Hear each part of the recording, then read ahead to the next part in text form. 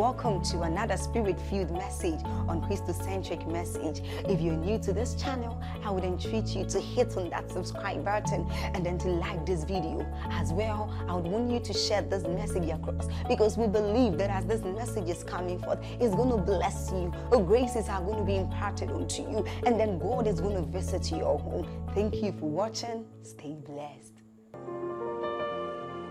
Adonai, Adonai, ancient King of Israel. Adonai, Adonai, there is no king just like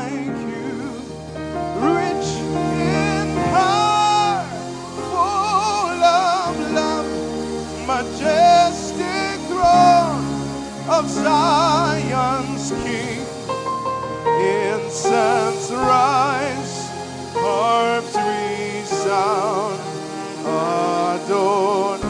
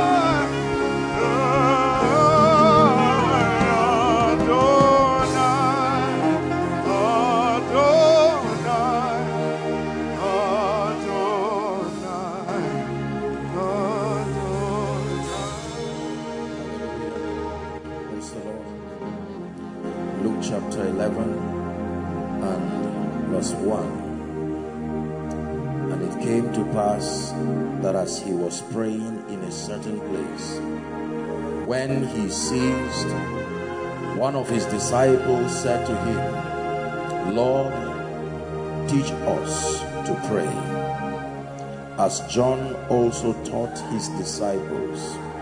One of his disciples said, Lord, teach us to pray. We want to explore the power that is in prayer. Teach us to pray. Father, we pray like the disciples prayed. Teach us to pray. We know there is power in prayer, but I pray that you help us understand the ordinances and the patterns of the ministry of effectual prayer, the prayer that works, the prayer that produces. May we, oh God, by this series, be a people who can command power in the place of prayer. Tonight, oh God, I pray that the grace be supplied in the name of Jesus Christ. Please be seated if you can.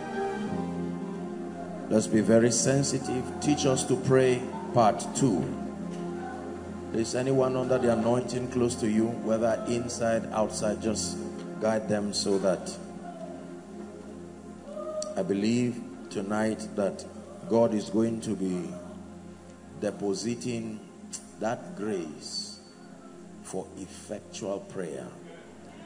The, the prayer ministry of many believers is full of activities, religion, and emotion, but with very little power. And so God wants to grant us grace to be able to be men and women who can pray effectually. Are we together? Psalm 65 verse 2, O thou that hearest prayer, it says, to thee shall all flesh come. So there is a God that can answer prayer. Idols cannot answer prayer. The Bible records that when the angel of death struck the nation, please let's settle down. When the angel of death struck the firstborn sons in Egypt, that Ramesses carried his son and dropped that son to an idol and began to call upon that idol. And he learned once again that idols are only the works of the hands of men. But the Bible says, O thou that hearest prayer, whoever can hear is alive. And whoever can hear can also answer. Hallelujah. Please make sure you get last week's teaching. We may not have the time to go into it again. But just maybe one or two things to just tie it up. I started last week by challenging us that the Bible calls believers many things. The Bible calls us joint heirs. The Bible calls us light. The Bible calls us salt. It's important that the believer not only know who he, uh, who he is in Christ, but the, the various names that represent your dimensions. The Bible calls us ambassadors. In Revelation chapter 5 and verse 10, the Bible calls us kings and priests. That means there is the priestly ministry of the believer. Are we together?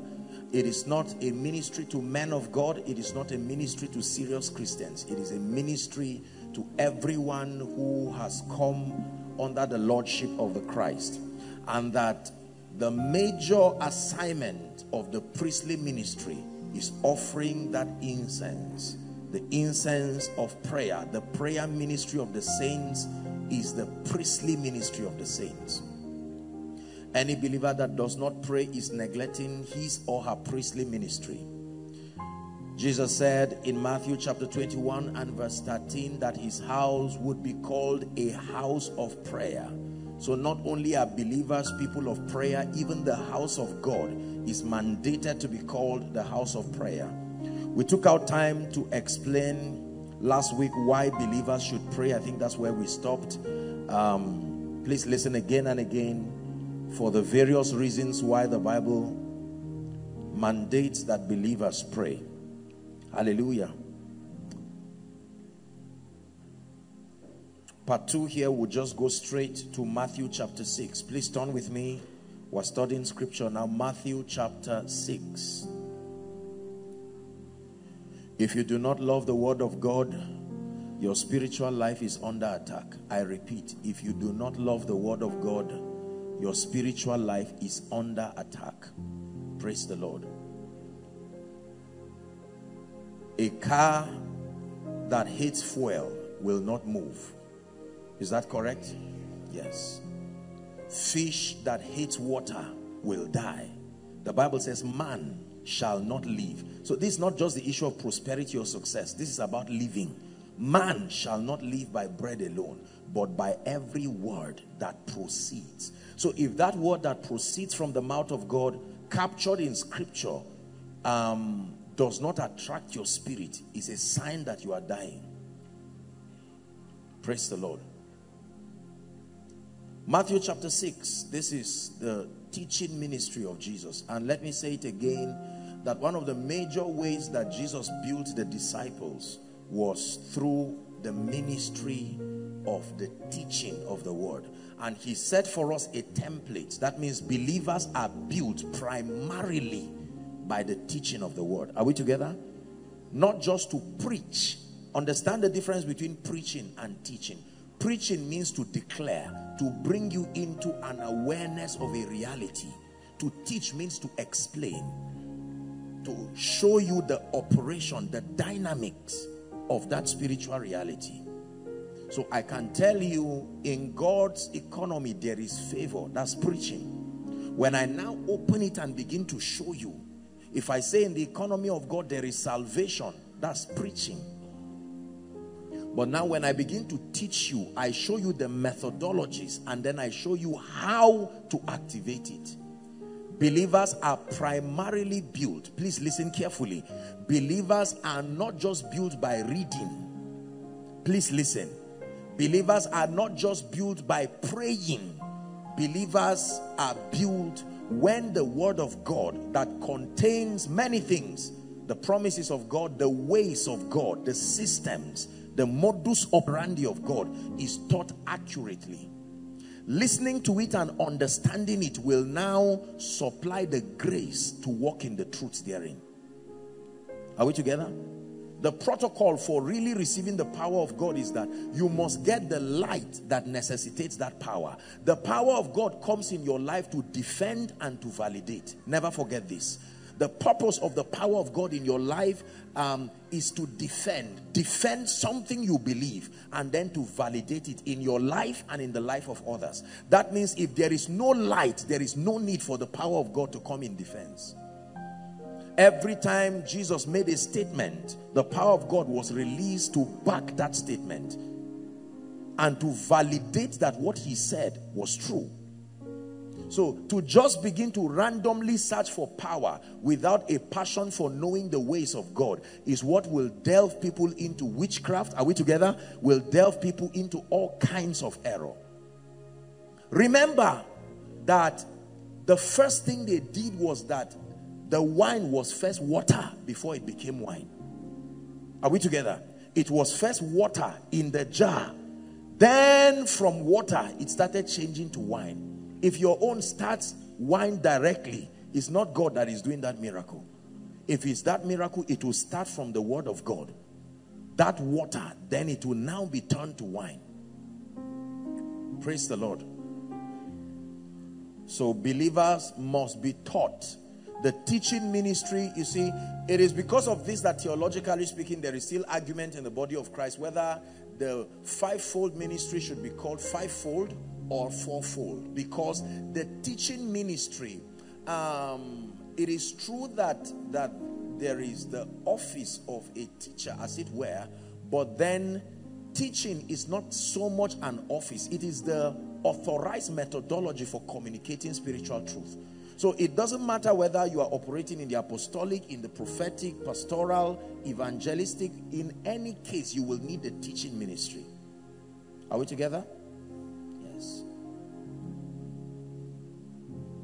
when there are no teaching priests, that congregation and that territory is already in trouble. A teaching priest, not just a praying priest, a teaching priest. Praise God. So, Matthew chapter 6, Jesus is teaching now. And we began to explore some things last week. Remember, we spoke about um, certain foundational mindsets that we must have when approaching the prayer ministry. Number one, he dealt with the issue of hypocrisy, verse 5. Number two, he also spoke about the issue of entering into your closet. I took out time to explain that. And then he said to not use vain repetition. I explained that very thoroughly. Um, we're going to go to the prayer proper now and then to exploit. Praise the Lord. Are we still together? Right, so um, the prayer starts from verse 9. Matthew chapter 6, please, from verse 9. Look up. Jesus is about to teach now on prayer, and he said, After this manner. Now, notice that Jesus never said by this recitation. The idea was not the recitation, the idea was not the chanting. The idea was that I am putting for you a system, a manner, an approach are we together? That when you want to approach, remember what necessitated this lecture was their lack of results. It was very clear that their prayer was not producing results. It was not prayerlessness. It was lack of effectual prayer that necessitated this lecture. The disciples were already praying. This is not about lack of prayer. This is about prayer that produces results. They were already praying and they noticed that Jesus prayed in a certain way and got results. And every time they prayed, they didn't have results. And they said, look, let's stop shadow boxing. Teach us to pray, even as John taught his disciples. So effectual prayer must be taught. You don't just pray, you are taught how to pray. Are we together? We'll run it down and then I will take it one by one. Verse 9. Let's read together. One to read. After this manner, therefore, pray ye. Uh-huh. Our Father, which art in heaven, hallowed be thy name. Thy kingdom come. Thy will be done in earth as it is in heaven. Give us this day our daily bread. 12. And forgive us our debts as we forgive our debtors. 13. And lead us not into temptation, but deliver us from evil. For thine is the kingdom and the power and the glory forever. Amen. Jesus is teaching now. So let's look at what Jesus was saying. After this manner, that means use this approach, not use these words. Use this approach. Are we together? So Jesus is telling us that something about this prayer construction, please go back to verse 9, holds the key to getting results in prayer. Are you ready? Number one, our Father. It says, when you begin to pray, pray in this manner. Our Father. Everybody say, Our Father. Jesus is teaching here that the kind of prayer that produces results must first start with an understanding of who you are praying to. Are we together now? The word father is the word Abba, A-B-B-A. It means source, it means sustainer, it means preserver. He is not saying call on God. He's saying have a revelation of the fatherhood of God as you approach prayer. There are certain informations about fatherhood that will sponsor your faith and your confidence while praying. Are we together? Jesus said a number of things about fathers. Number one, Romans chapter 8 and verse 15. The Bible tells us that as believers we have been given the right and the access to cry abba father media please walk with me romans 8 15 for ye have not received the spirit of bondage again to fear notice now notice that the moment you are introducing fatherhood two spirits must exit one bondage two fear so that when you approach the prayer ministry that produces result if it is the fatherhood of god then it cannot coexist with fear and a sense of bondage. Are you following me now? He says that he has given us the spirit of adoption and by that spirit we cry Abba Father. Matthew chapter 7 and verse 11. I want us to hurry up. Matthew 7 and verse 11. Matthew, not Amos, Matthew 7 and verse 11. Now, look at this. Jesus is teaching here now. And he said, if you being evil. That means enshrined in your nature is evil. You are evil. But that even in your evil, you know how to give good gifts. Is that true? Yes. Terrorists have wives, true or false? Terrorists have children, true or false? Many of them are very responsible fathers. Is that true? Jezebel was a very wicked woman, but was an outstanding wife.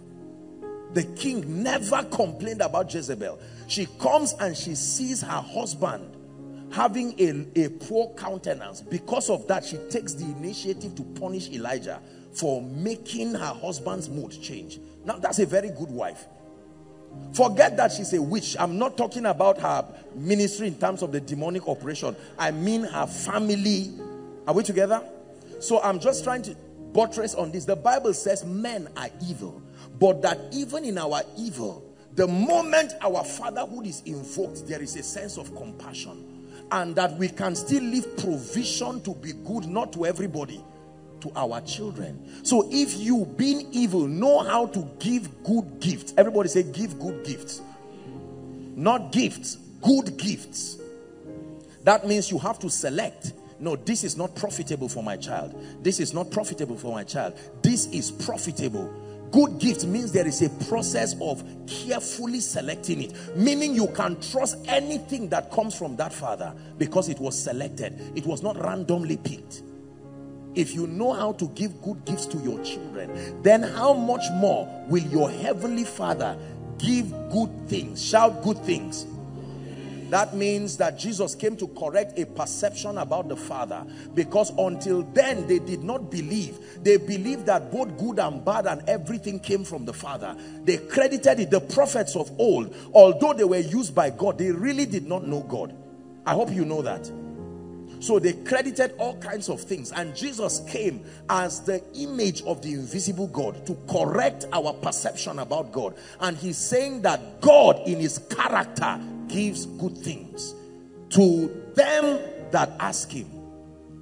That means when I ask God for something, what do I expect? Good things. Notice the Bible never says that he just gives you your desire alone. He gives you good things. That means you must travel to his realm to interpret good from his standpoint. I need to correct this up front. Because the idea, what may be good for you, may not be God's idea of good. The same way a child will come and slap his father and say, give me the car key. That is the child's interpretation of good things. But the father knows that giving that child that key will end that child's life. So it is part of his fatherhood to deny that child and give him something else. Prayer that works now. Are we together? Abba Father. That when you come to God, number one, you must come to God understanding that he is the source of all things. Don't come to God as an option. the moment you approach God as an option, you are not approaching Abba, Father. It's a mindset. It's not just to say our Father in terms of the linguistic pronunciation. That come with this mindset that the man you are approaching is not somebody who was employed by another person to hear you. He is the owner. That means whatever God cannot give me, no man can give me. That is a revelation that should drive me in prayer. Lord, I come to you and I'm asking you for this. If God says no and anybody tells you yes, that person is going to kill you.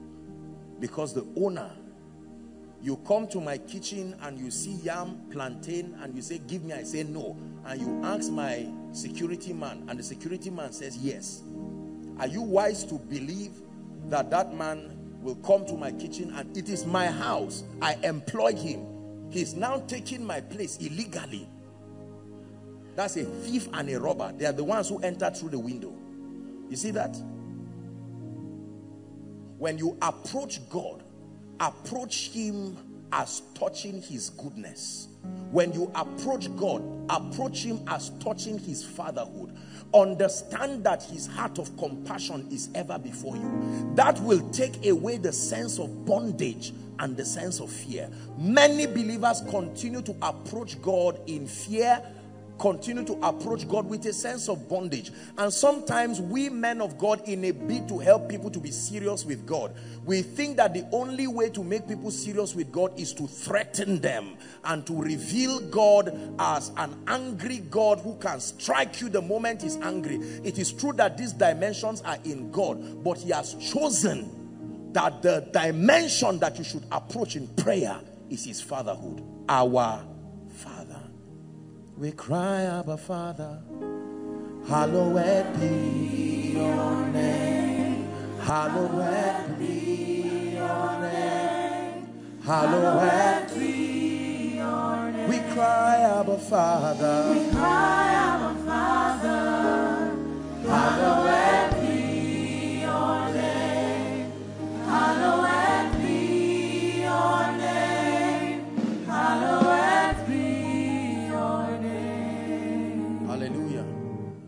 I have seen, I've watched a number of children approach their fathers. And it's amazing that every father is also something else. I hope you know. The father is also a manager, he's a CEO, he's a doctor. But when the child comes, while we are queuing to see the doctor, the child is coming to see his father. So if you tell the father, the child to join a queue, he says, no, I join the queue if I want to see a doctor. But now I'm coming to see my father and he can just run and come and embrace the father. Watch this, watch this. You can't run and embrace the man like that because he's not your father. You see that? He is the one who will give you injection and prescribe a drug. But the child is coming to his father. Now watch this. It doesn't matter whether he steps on the father's toes. Remember, the father has an eternal commitment towards the child. That does not mean the child will be lawless, but there is a consolation that at his worst, he's still loved by his father. It's a revelation. Listen, believers, let me teach you this. This is the balanced perspective of both grace, revelation, and all of that. There are people who can never approach God properly. Do you know why? Because we have been given a mindset that all God is is a warrior. Did the Bible not say there is a time for peace and there is a time once it is under the earth? God is not always fighting. He fights. Don't make that mistake. He's on a he's a rider on a white horse, but he's not always on a horse. He can sit on the throne. Jesus was demonstrating the fatherhood of God when, remember these busy protocol guys who wanted to drive the people from seeing him and said, don't interrupt Jesus. He's preparing for a meeting. And Jesus said, no, no, I'm not only a savior. I'm a father. I remember I'm revealing the fatherhood of God. Let the little children, not let strangers, mm -mm, let they are children. They are entitled to my attention let the little children come to me. He didn't say, let the little children prepare and come to me. He said, let them come to me. He said, do not forbid them. The children are acting out something about the father and his children. Rather than driving them, learn. Learn. For, for such is the kingdom of heaven. That means you must approach me this way. When we pray, pray in this manner. I am coming to my father. It doesn't matter what dream you said you saw and what God told you about me. It's all right, I've had you. My father. Abba, father. It doesn't matter what you said God revealed to you will happen to me tomorrow because of whatever you think. Thank God for your wonderful vision. But I have, I know a way of sorting myself. He's Abba, my source, my sustainer, my preserver, my defender. Listen, in this ministry, come if I see this gentleman outside, even if I'm passing, and he calls me and says, I'm a member of this ministry, he has called on my fatherhood. If I see that he cannot pay his bike, even if he was wrong, I will not draw his ears outside. It will be stupid of a father. This is a, this is a home affair. So I will first correct that thing for my namesake, lest it be told that I mentored him wrongly. It has nothing to do with whether I love him or not. My reputation is at stake. So I will correct it first and say, meet me at home. When he comes home, I'll say, next time, get your bike money before you go. So the awareness that I will correct him, but the awareness that my love overrides everything, gives him confidence that even when he's wrong, he does not run away, he runs towards. Please understand this. Listen, I don't know where we got this Jonah type revelation that every time we feel unworthy, we run away. Then when we think we are okay, we run towards. That's a devilish theology. Abba Father, my life changed when the understanding of God as my Father. Hmm.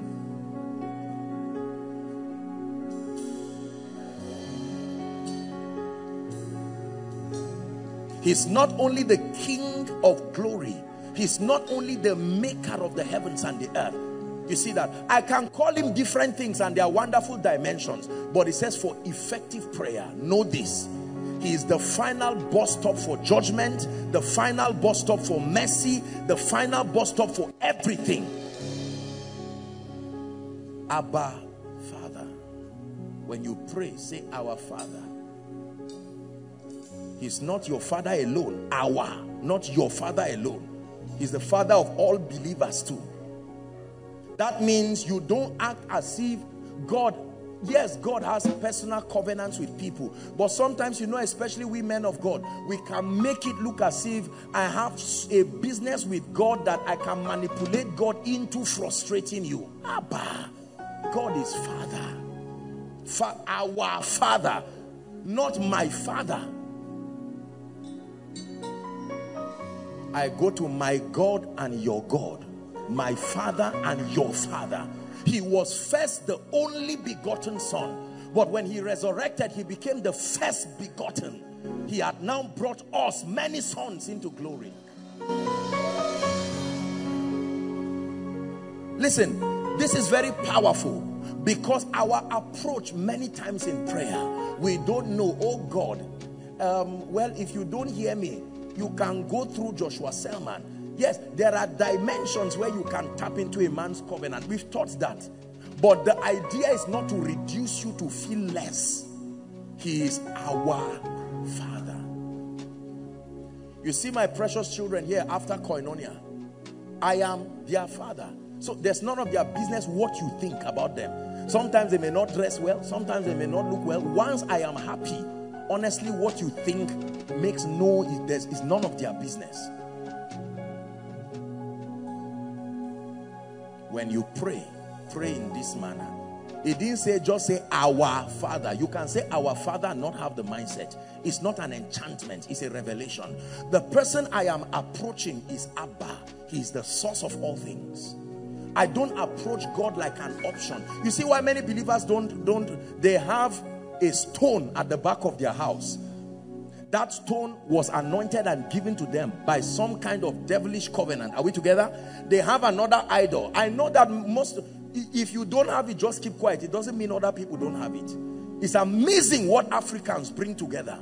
They put that stone they put all of those things then they add god to it and pray to everything and wait for whichever answers them. And god says no you don't get that about me. Our I was not molded. They didn't breathe into me. No. You carry cement that was made by Dangote and make an idol and make it strong using cement and pray to it. See how stupid we are? And yet God says, no. When you come to me, approach me in this way, my Father Look at Jesus. Jesus is standing by the grave of Lazarus. And for a few seconds, he forgets about the issue of death and resurrection. I thank thee, my father, because you always hear me. He said, I'm even embarrassed to look like I'm trying to push you. I'm only doing it so that they will understand what is going on.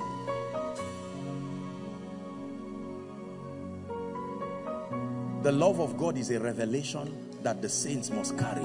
The love and the fatherhood of God. Listen to me. God is not, listen, I will say it again. There are many ways to know God. And one of it is through Jesus. Jesus manifested as the image of the invisible God. His primary ministry before his death and resurrection was to correct our perspective about God. That means whatever we thought God was, we look at Jesus for verification. And we never see one person destroyed in the ministry of Jesus. It was only the religious people that suffered. He only whipped them once and he whipped them out of compassion. The Bible said the zeal of the Lord consumed him, not wickedness. The zeal of the house of God. He said, you are turning my house to a den of robbers and it has necessitated this kind of action. Abba Father. He comes to the woman by the well and he starts a conversation with her. He looks at Zacchaeus. Look at the love of God. Zacchaeus is climbing a tree as a tax collector. Do you know the kind of humility that is? And he says, Zacchaeus, I've changed the crusade. You are worth my going to your house. Only you. Come down. If you were in Jesus's ministry, you will hate him. Because how can you cancel a crusade just to go and see a tax collector? One man. You are on your way going somewhere and a man climbs up and you see his compassion and you say, I cancel my program to attend to only you oh jesus you are showing favoritism he said no i'm honoring someone here who thinks he's far from me. I want to bring him near. Jesus. Every time they called upon the fatherhood of god look at the compassion. Look at the way he approached them.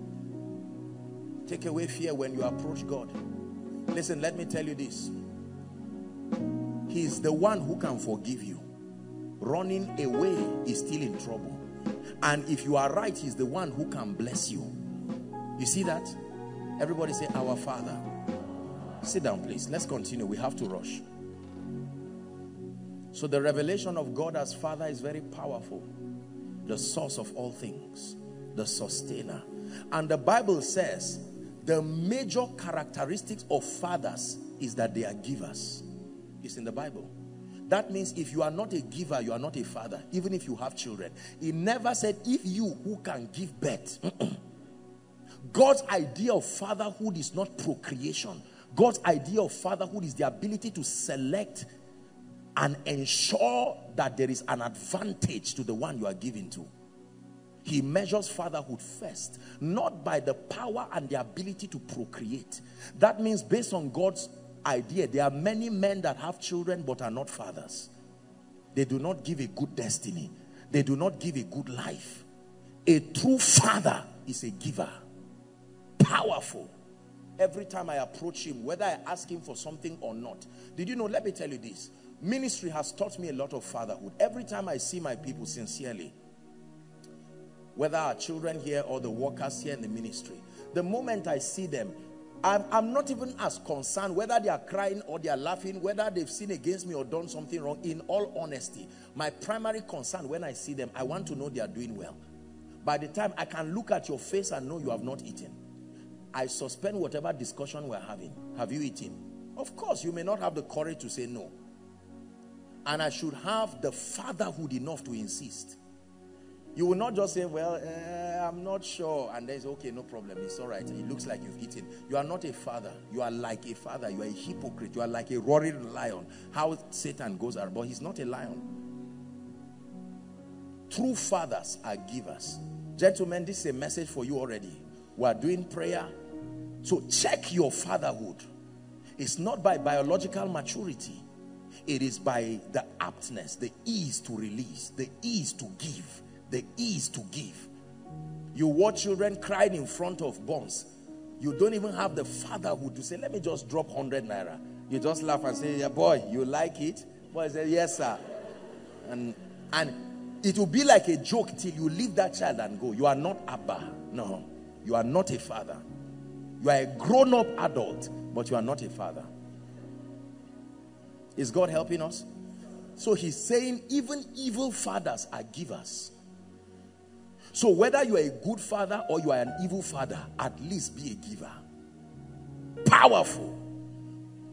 You know I have met God by something that is in my hand while I leave him. Whether I go there to intercede, whether I go there to make requests, the fatherhood of God will not allow me to go out of his presence empty-handed. Nobody comes to my house and leaves empty-handed. It's true. Why will somebody come to my house and leave empty-handed? No.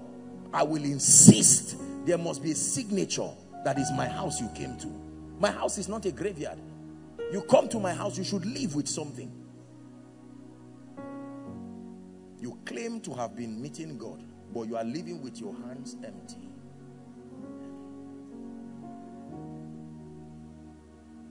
Abba, the giver. Abba, the giver of good things. Good things. I approached God and I said, Lord, this is my year of extraordinary fruitfulness. And I approach him with the understanding that if God, the Father, gave freely his son Jesus, what else will he not give me?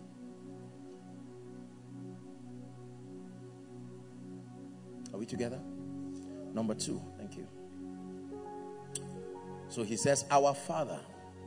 Number two, who art in heaven. Matthew chapter 6. Open our eyes, oh God. See, I truly pray for you from the depth of my heart that the spirit of revelation in a mighty way will come upon your life. You see, let me tell you how to know the spirit of revelation is upon you. It is not in the scarceness of the information you are producing but the ability to draw the mysteries of the kingdom out of stories, the ability to draw the methodologies of God out of anything. You know the spirit of revelation is upon you when the ways of God can come out of any scripture. Not just the ones you know, any scripture. He shows you his ways. He shows you Christ revealed through any scripture. Who art in heaven? Let's discuss. Now look up please. It's a very powerful prayer. He's saying when you approach God, number one, approach him based on his fatherhood. Have we gotten that? Then number two, he says, who art in heaven. That means that who is in a realm that is not here. Listen carefully. He is here by his spirit, but bodily speaking, if I use that word, he is domiciled in a realm that is not earth. That immediately means approach God through faith your faith will have to come alive because he's not seen in this realm. Are we together? And that anything you cannot see, you do not need faith for again. Hebrews chapter 6 and verse 6. Our Father who art in heaven, who art in a realm that is not earthly, who art in a dimension that may not be easily seen with my optical eyes, but you are real. I must approach you with that understanding. Hebrews chapter 6, please, and verse 6. He says, Where's that? 11, sorry. Hebrews 11 verse 6. I meant to say, sorry. 11 and verse 6. Watch this. He says, But without faith it is impossible to please him, God. For he that cometh to God, so he's still talking about prayer, must believe that he is, meaning he exists. I cannot see him, but I know he is real. And then he is Father because he also gives and he's a rewarder of them that diligently seek him. My Father who art in heaven, I believe you although I cannot see you so that I don't feel stupid for praying. You are standing alone and you believe you are not alone. You need faith to believe that. You are writing your prayer request and coming and throwing it before an altar from a sociologist standpoint, he knows you are not fine. While you are writing, oh God, be watching, I'm writing. I drop it before you and you are happy he's seen it. Doesn't make sense until you engage through faith. What is faith? Conviction about the reality of God and the integrity of his person and the action that you take based on that conviction is called faith. Are we together? That the foundation of true faith is your conviction. The Bible says you must believe he is. Not everybody, I believe, will have the privilege and the opportunity to have visionary experiences to see God glorified. Are we together? You do not need to see God either in the spirit or in a vision to believe him. No. He made faith available. Hebrews chapter 11 verse 1. Now faith is the substance of things hoped for the evidence of things not seen. He said, for by it, that faith is a connector. So I know. If I tell you, come my dear, if I tell you I want to give you 1,000 naira, if you say, where is it? You are not operating by faith. You cannot see the money, but you have to trust that I'm not lying to you.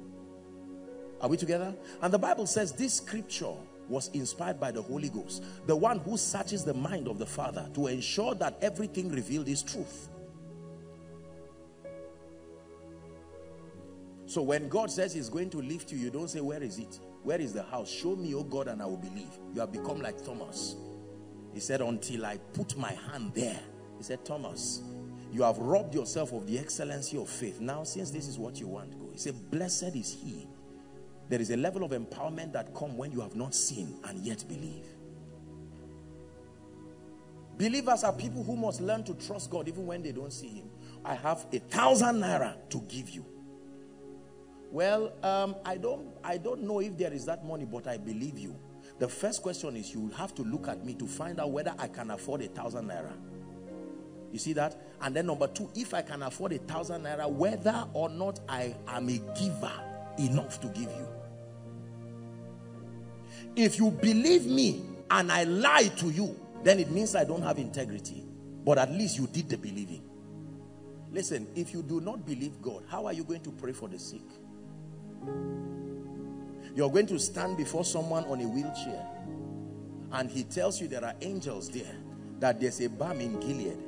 No hospital gave you that balm. You'll stand in front of everybody and say, Sam, you are going to stand up from this wheelchair because God said so. You don't have to hear a voice like prophecy says, tell him to stand up. No. The most powerful state of the believer is when you act without seeing, without hearing, but believing. Not just when you are seeing, not just when you are hearing. The man who has seen, if I if God opens my eyes and I'm seeing an angel now, with respect to that sight, I'm not standing by faith again. I'm seeing, he's there. I know. My conviction is tied to God, but strengthened by the presence of that angel. But I do not see, but I believe that the word of God says are we together? That there are angels. Please listen. And so with that one now, as I minister to this person, this is faith. I can now tell Sam, stand up from that wheelchair. Now, I'm telling him to stand up. Remember that there is nothing physical. Everything there is physical. But the Bible is saying that all that we see is not all that there is that there is a lot happening in the realm of the spirit and it says that the person who is doing it is not in this realm he has operations happening in this realm but heaven is his throne and the earth is his footstool. So you have to believe. Many believers are scientific. Let me tell you this. If you cannot believe god for things unseen you will never go far in life. There is no guarantee anywhere. Apostle, now that I came to Zaria, I thought God said I should come to Zaria. Even if you don't hear any voice, if you are convicted by the truth of scripture, that that location is a place that lifts you, you will stay here, God will back you and you will honor you. It's not about dreams and visions. It's about faith on the integrity of God's word. Visions and prophecies are inferior to the truth of scripture.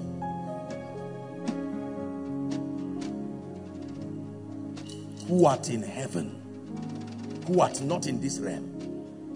When you pray to me, I'm not in heaven. Of course, I'm in heaven seated with Christ, but I mean bodily speaking, I am here. So you can meet me. If I'm stretching my hand, you are seeing it so you can collect. But where you cannot see and yet you still stretch your hand. Lord, I know you are a giver. So I stretch my hands in advance. Faith. And the angels are watching. This is, listen, this is what surprises the angels because the angels don't walk by faith. Are you seeing that? So when they see believers in the earth who do not have the advantage of those openings and yet they trust God. Imagine how the angels felt when these guys entered the fire. They said, you believe God that far? Fire is about to roast you. And he said, no, I know whom I have believed. Listen, our faithless generation is why God cannot use mighty people. Someone wants to start a ministry and is waiting for an uncle who will vow to be the sponsor. Um, I will, I will give you, I will give you two million to wax your album. In the economy of God, you will die and not move forward. There are times you have to stand. The signs don't go before, they follow. You believe first. That's why the Bible says when Jesus comes to the earth, will he find faith? Faith what in heaven? The fact that he's in heaven does not mean he's dead. So when you approach him not only is he a giver he resides in a realm that is not optical. He resides in a realm that cannot be felt easily with your sensory perceptions. That means he's giving you an added information because the devil is the master of the sense realm so when you begin to pray, he said, are you feeling like God is moving? He said, I'm feeling dry. God never told you to believe he's answering prayer because you are feeling anything. Uh -uh. This is the confidence that we have. This is scripture. I'm teaching you. All these feelings have destroyed people. You may be at your most powerful state in the spirit, but because you didn't feel anything, you just say, I don't feel like praying for the sick. If, if that thing comes, I have a way of feeling. You walk that way, the devil will destroy you. The day there is nothing on you, you will feel as if you're on top of the world till your results show nothing is on you.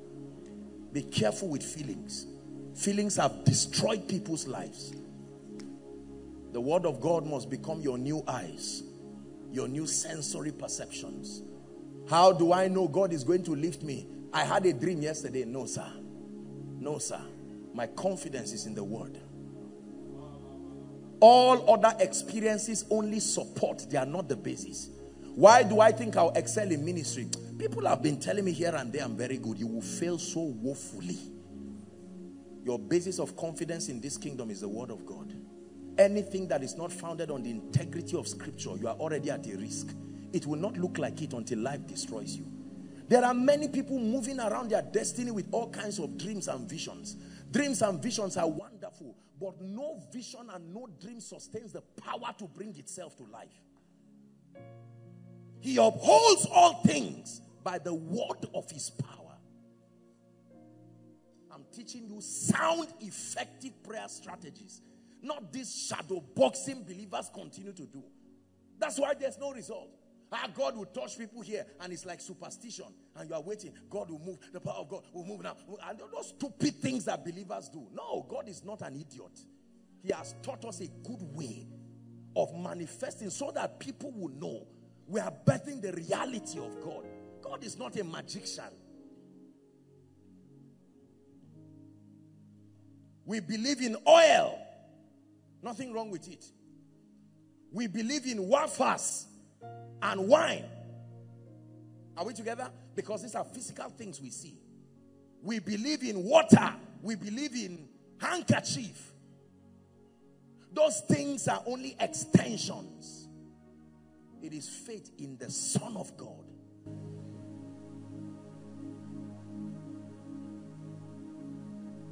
This simple thing, who art in heaven, is why many ministers cannot rise.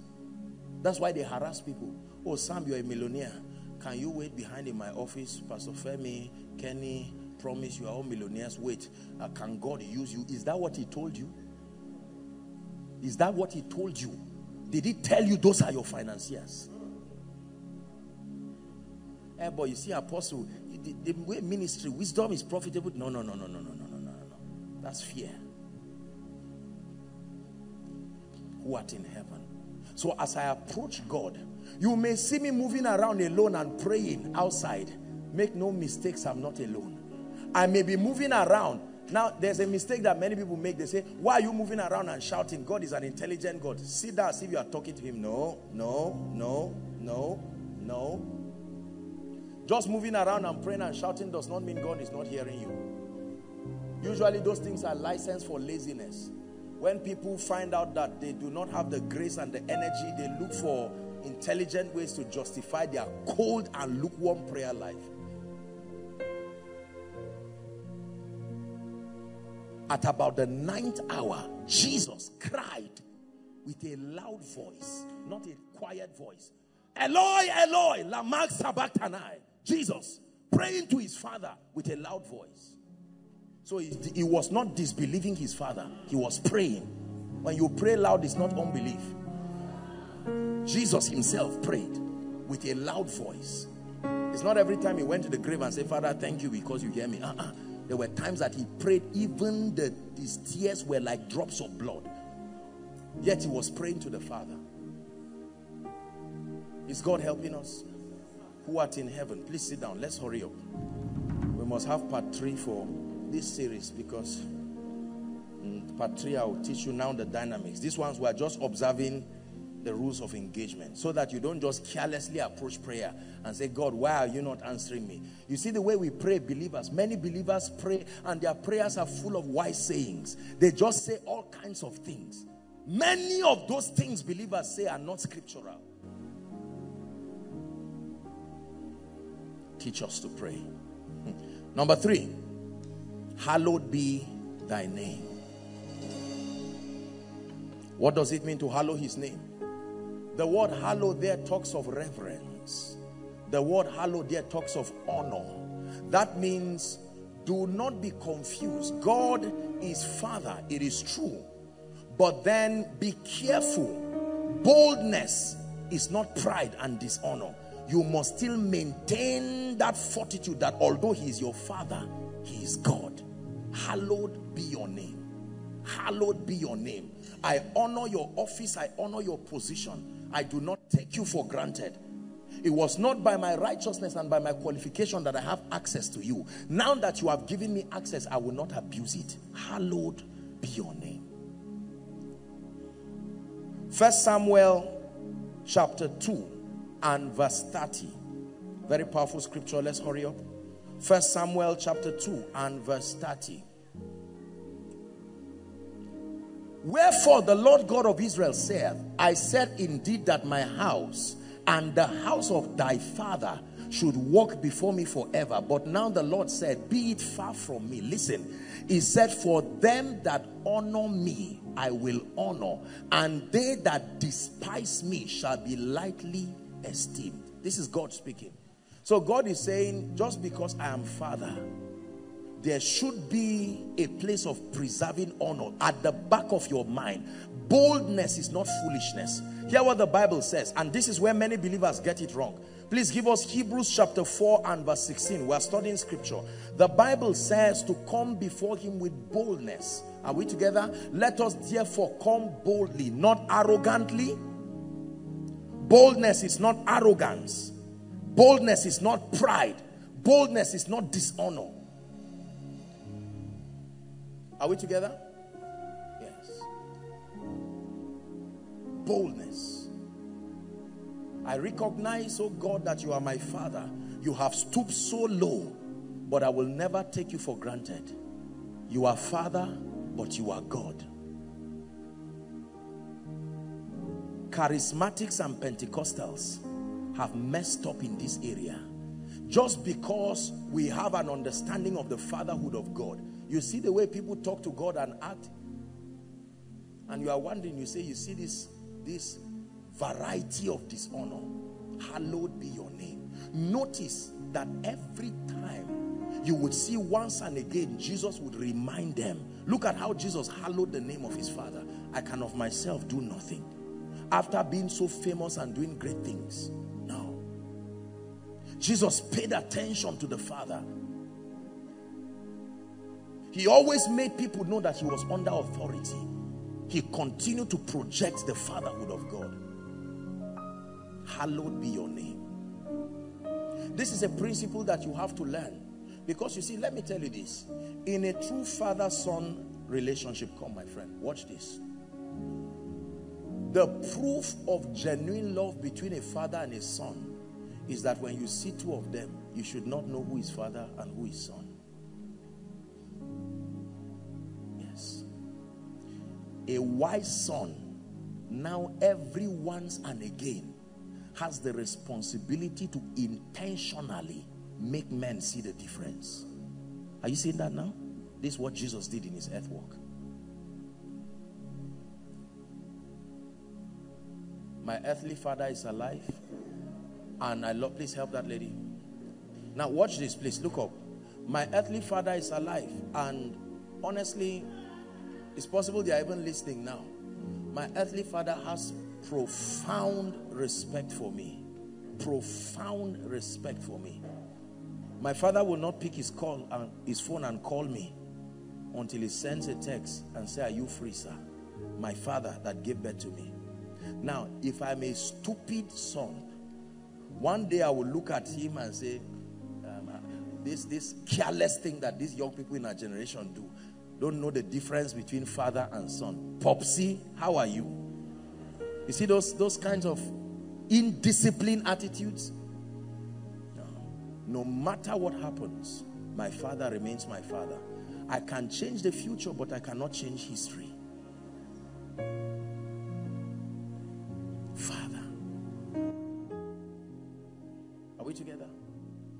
There are times that when you see me and God, you think we drink tea together. This guy can just joke and God will honor him. Ah, this man and Holy Spirit, they are joking. Oh dear, you ask him. There are times I know the difference. My knees tell the difference. My clothes on the ground tell the difference.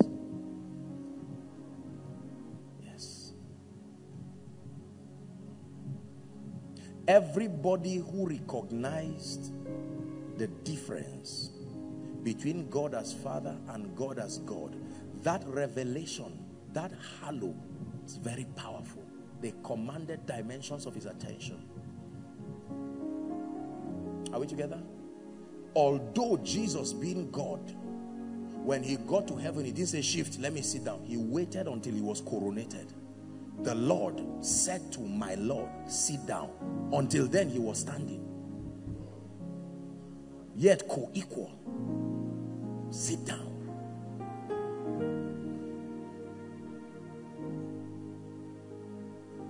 Are we together?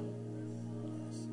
I remember a few years ago, one very foolish boy came around to see me and he said, Apostle, they say you are so nice, you are so humble, and he was misbehaving. I told him, I said, please walk out of my house.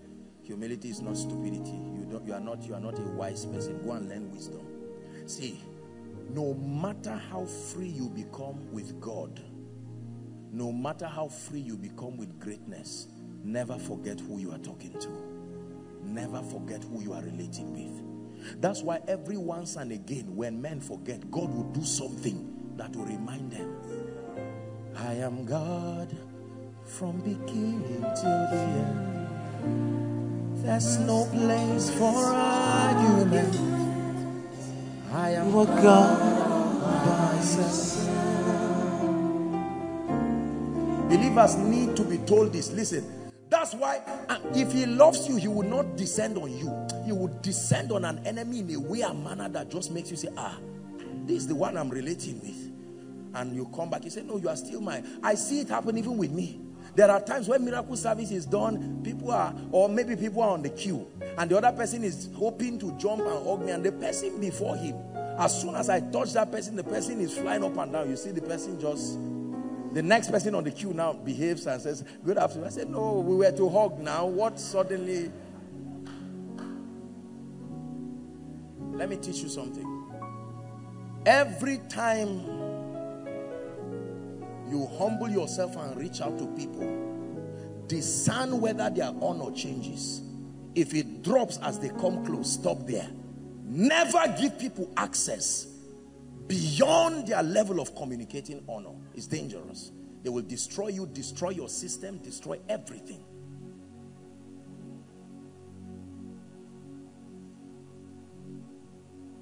My children here can do things for me that many of you cannot do. They can command me to bring my ears.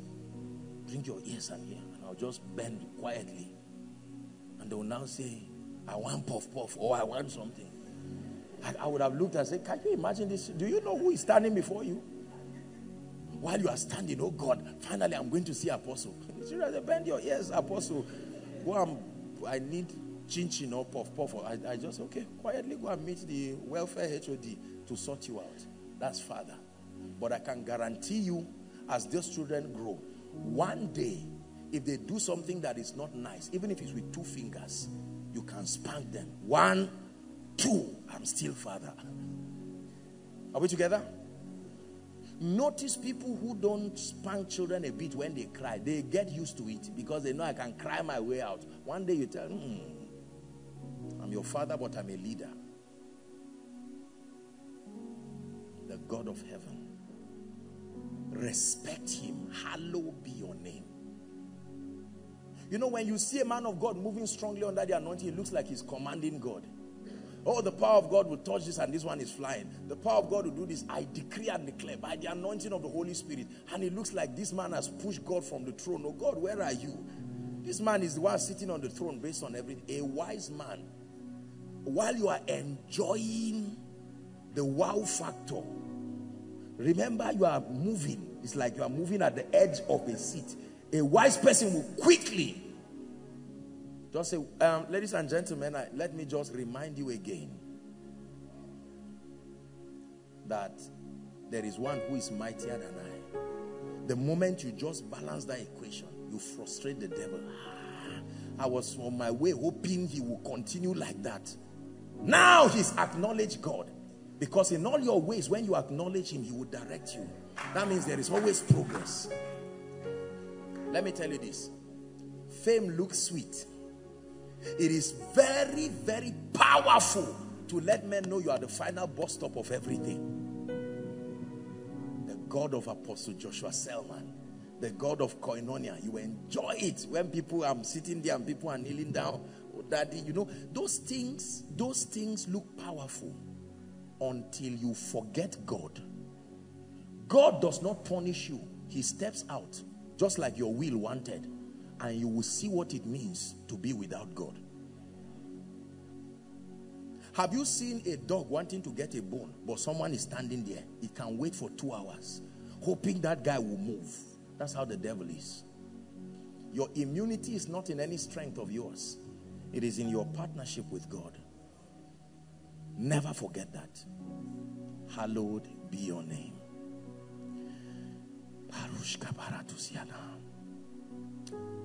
Number four, are we making progress? Let's see where we can stop.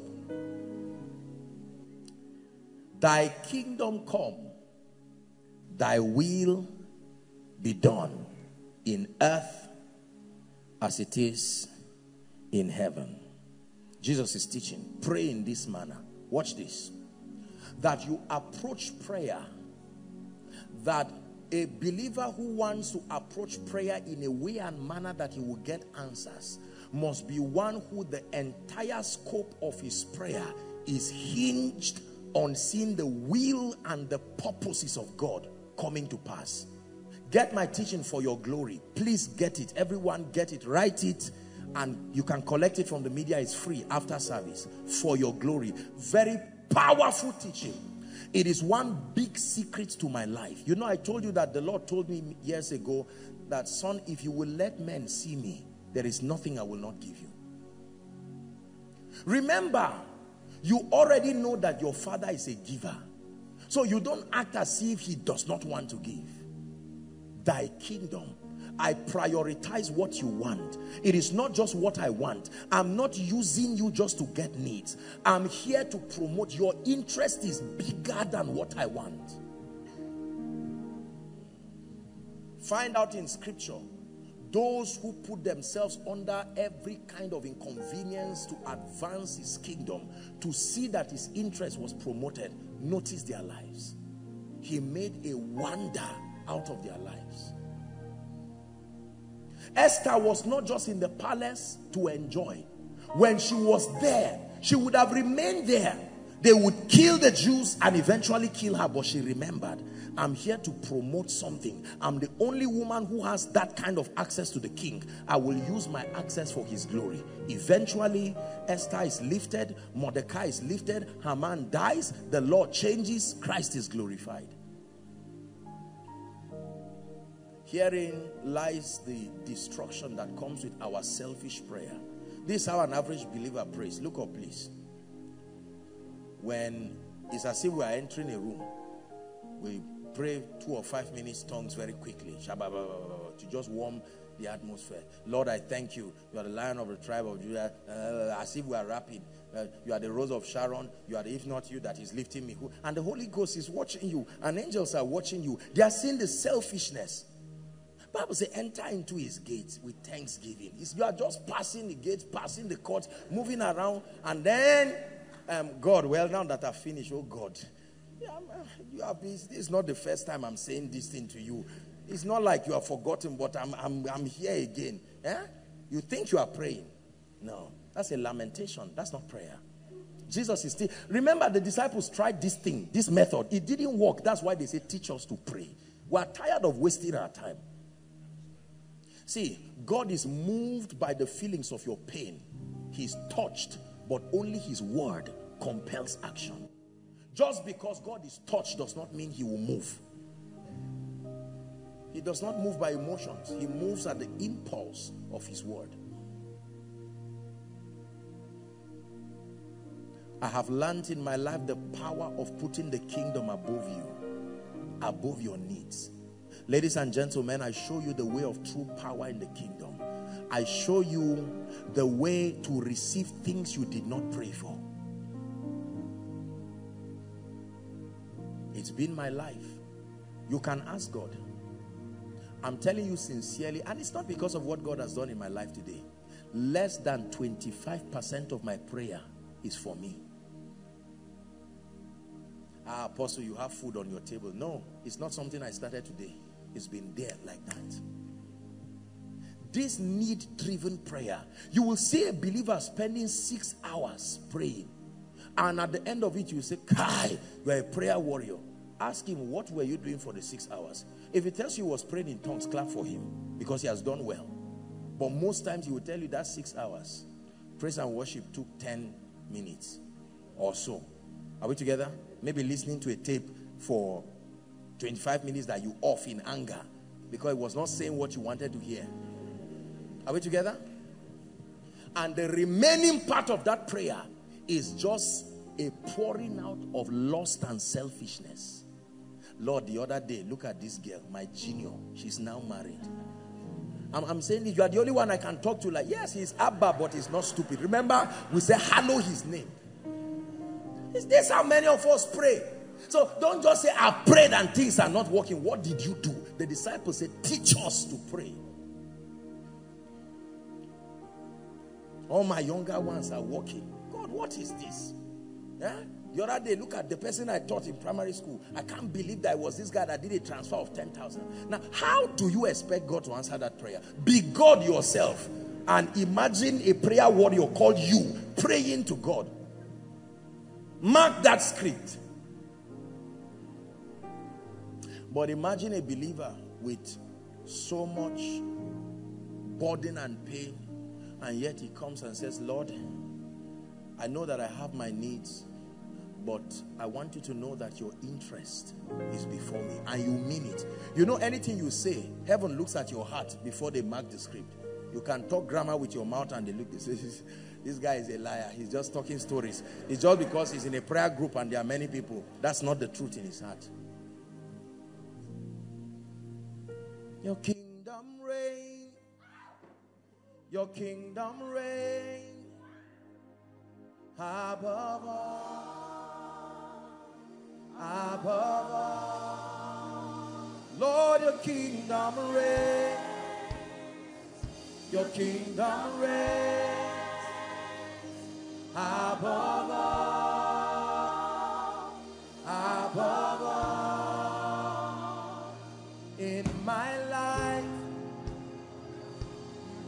My life. Lord, your kingdom reign. Your kingdom reign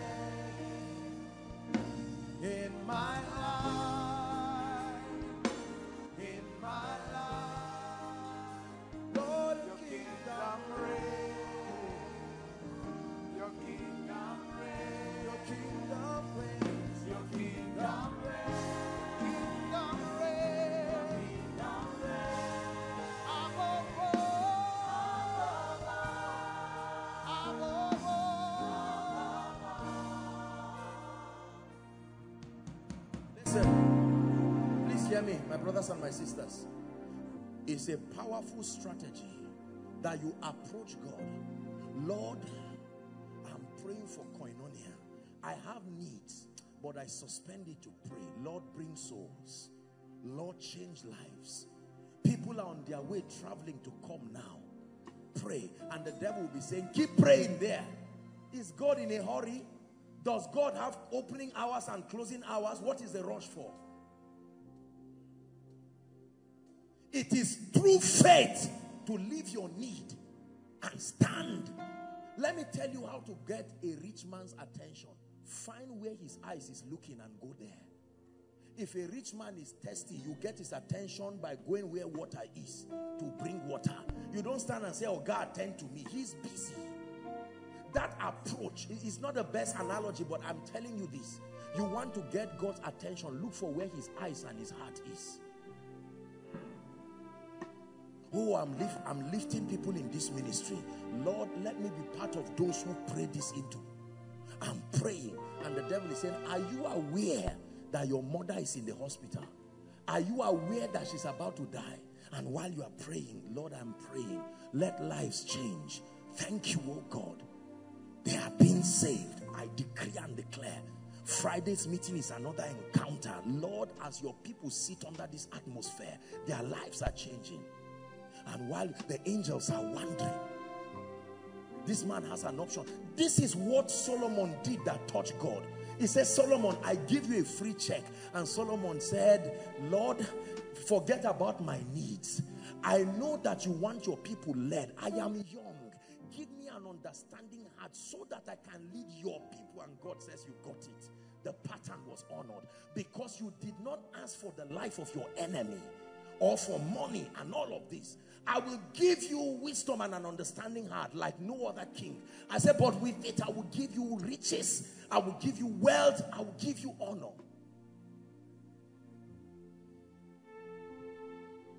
You remind God about yourself when you forget about yourself.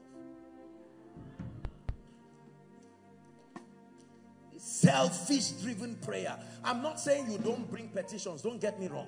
You can take out time, but many of us, I can tell the truth sincerely between you and God. This whole year, I'm not sure you have prayed for any other person aside from yourself. It's always me. It tells even when you come to stand for your family for prayer what I, am not putting you under pressure. Uh, Apostle, well, forget uh, my mother. How is she? Well, her leg has started improving. Just leave her. But this thing now is me. When it is all about you, you would not command the attention of God. Thy kingdom come, thy will, your intent be enforced. I show you the secret of very great men. They decrease, and his purpose is increased through them. And while that is happening, requests you are not raising, God is answering. Listen, the Shunammite woman forgot about the issue of her barrenness and started paying attention to the prophet. Every time Prophet Elisha will be passing, and they say, We discern this is a holy man of God. In other words, he's always passing to execute the will of God. I know I'm barren, but forget about my barrenness. Let us find a way and build him a room. Let us put books. Let us put light. And when the prophet came and enjoyed, the prophet by himself, he started telling Gehazi, he said, What can we do for this woman? In other words, it is not consistent with God's character to go all the way and then he forgets about you. You cannot outgive God. So when you forget about yourself, you make God to remember you. And he said, God, don't leave me. He told the woman, listen, the, the woman told the prophet, he said, well, I dwell among, he said, the prophet said, should I talk to the governor for you? He said, I dwell among my own people.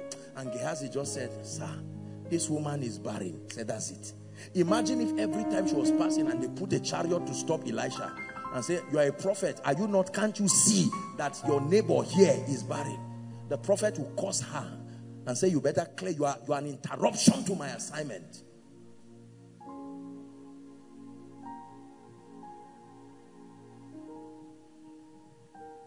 This I have learnt about God. My heart is only concerned about what brings him glory.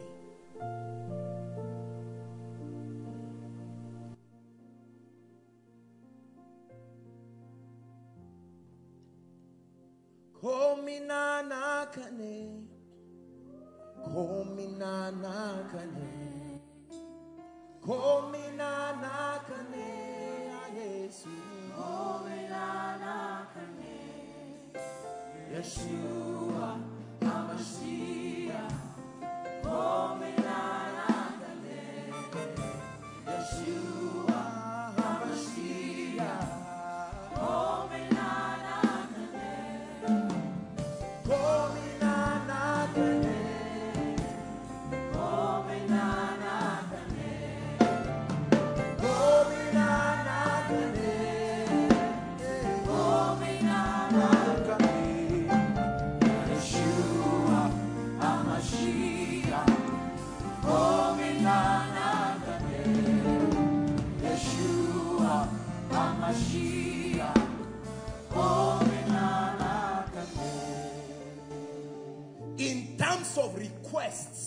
the priority is the heart and the intent of the Father, not your needs, not tea and bread. Your heavenly Father knows you have need of these things. Listen, let me tell you, try this thing and do it with revelation, and you will wonder at the hand of God. God, give me, God, give me, God, give me, God, give me. God give me and heaven is saying you are not profitable.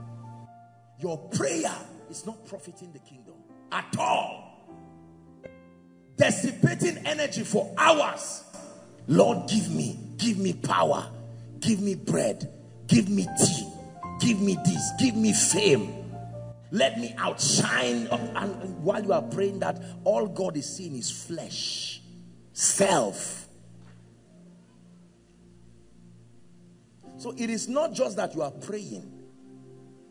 Is God's heart a priority in your prayer? Apostle, I'm not an intercessor. You see it? It's not for intercessors. It's a pattern. In this manner, pray. Thy kingdom come. Thy kingdom come. Thy kingdom come. You think God does not know you have needs? There are times you can dedicate honestly to pray for yourself. Read the Bible and find out how many times Jesus prayed for himself. Read your Bible.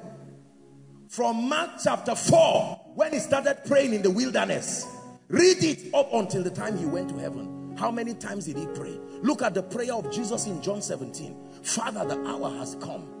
Glorify now thy son, that thy son will glorify him. This is eternal life, that they may know thee, the one and true God I pray for them, not that they will leave, but that you will keep them. All that you have given me, I have kept, and none is lost except the son of perdition, that scripture may be fulfilled. That they may know this, he is praying for them. And it's a shame. Let me tell you this. I, I don't mean, I'm not trying to speak bad. But if you are a man of God here, or you have any kind of spiritual responsibility, and you don't cry before God over your congregation, over your people, you will never have testimonies in that church. Keep prophesying in the open and don't pray in the secret. You will be surprised to see. It's the reason why many churches have only one, two, three people testified. Because the truth is the men of God don't pray for the people. The true up the part of the apostolic ministry of Paul, Ephesians, for this cause, I, Paul, I bow my knees to the Father of our Lord Jesus Christ that he may grant unto you, not to me, thy kingdom come. Please reorder your life this night. Reorder your plan this night. Hear what I'm telling you. I show you the way that makes you successful. Reorder your life. Lord, you have put me a priest as this in this family. Things are not going well in my family. I know that I have needs, but for now, oh God, I'm dedicating these two days and I'm not mentioning anything about myself. It is about my father's salvation. It's about my mother's healing. It's about my sister's barrenness issue. Uh, that is a priesthood ministry.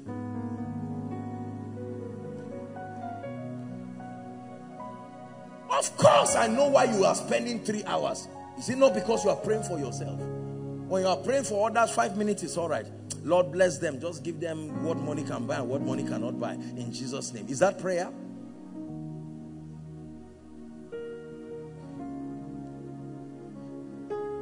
Hallowed be your name. Hallowed be your name. On Fridays like this, my mind is just thinking koinonia. I'm just thinking. My, my entire, my mood, everything is as if I'm not feeling fine. The few times that I travel and I'm not here on Friday, you ask the people that travel with me.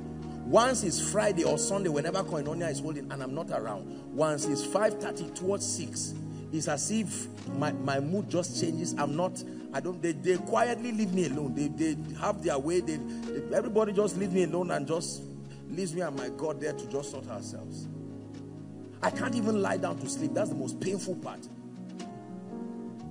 I remember the time I missed miracle service here. They brought me the video and I think it was Benga that was praying or so. When I had it, I said, off that thing, please quickly, take it away from me. I sat down. I felt bad that night. I didn't know, it was as if I was going to die.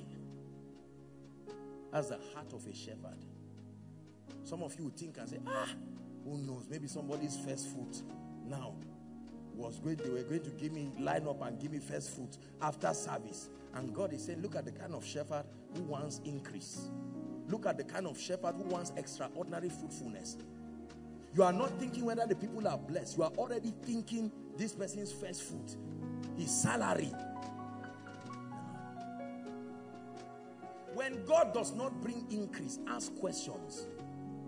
What is the motive behind it? God sees my heart. I've told God many times, if it means me failing so that you will succeed, it's still a good bargain with God. I've prayed and cried to him that much. There is almost nothing in my life, sincerely speaking, that I seek for myself. If I ever seek anything for myself, I can show you how it connects to God and his glory. I want you to check your desires. Check the content of your prayer. Huh? How does your prayer route to birthing the purposes of God? Lord, give me a husband. Give me a wife. No problem. Why? How, what do you mean why? Am I a small child? Are you blind? And God says, you see what we're saying now? Thy kingdom come, thy will be done. Oh God, give me, come divine, give me a child. Why? So that you will have a prophet. I've been sensing in the spirit and I read that there are prophets who will move in this season. Lord, I donate my womb. And God says, you are talking to me now. You are talking to me now. I see your pregnancy can now become a ministry if it will birth the purposes of God. See, a ministry is not just standing on the pulpit. It is whatever comes out of you that can birth his purposes. Lord, give me anointing. Why? Why do you want the anointing? I've, I've gone through failure in my life. Oh God, you know my background. And God says, that's not enough reason. Lord, I'm watching people. I saw the other day, this family, they were believers, they became non-believers simply because the power of God could not be demonstrated in that family. Lord, can you make me a bridge between someone's going to hell and his conversion? I donate myself and God says, you are talking to me now. You are ready for real fire from heaven. After this manner, pray. Prayer warriors, hear me. Most people do not pray correctly. They pray voluminously. They pray extensively. But the content of their prayer, reduce it from the eyes of God's will. Very small, very small portion of it is kingdom. Let me tell you, if everything God gives you he sees that his kingdom will be represented there i tell you sincerely you will get more things without praying. All this job that many of you want you see telling god if you give me a job i'll give you the first fruit that's that's nonsense. That's not that's not god is not looking for first fruit. What will you do with the other fruits? God is looking for everything not all your money. That's not what i'm saying your life. Lord, in this office, you need an ambassador. I'm, I'm available. Lord, as you are searching for ambassadors, I'm available. And God says, are you fine? And you will see your CV that you submitted since 2014. Someone will wake up in the night to go and dust it. This I know about God. Align your heart to God's purposes and watch the wonder working power of answered prayer. God will shake systems and make sure that he comes to you. It is why covenants are powerful because you have now bound yourself. God knows that human beings vacillate. So when they come under covenant, it's an oath. That means they are aware of the consequence and yet they bound themselves. It's a token of seriousness. So God honors it. Hallelujah.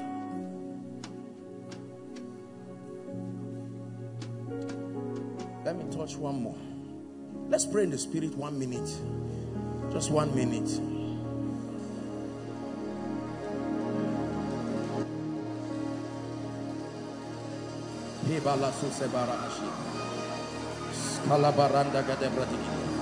Thy kingdom come, thy will be done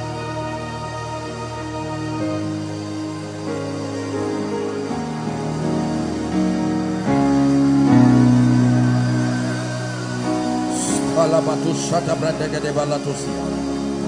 Skibaraha Sodes Kalabanda Kata Praduside.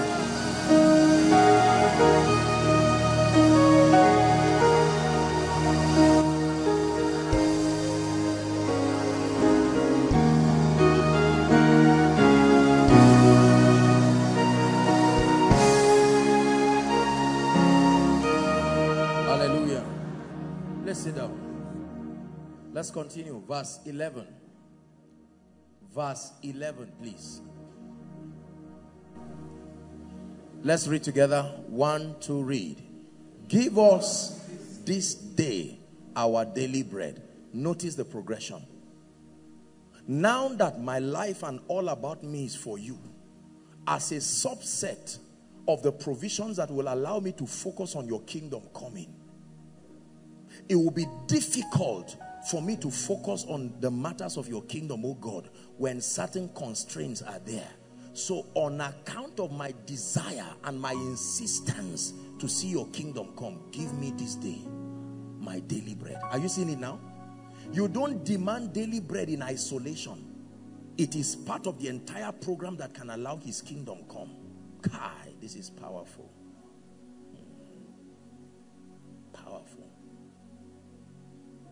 Notice that when it comes to God's kingdom, he doesn't want to even give you monthly. He wants to give you daily. Remember, you are asking for monthly.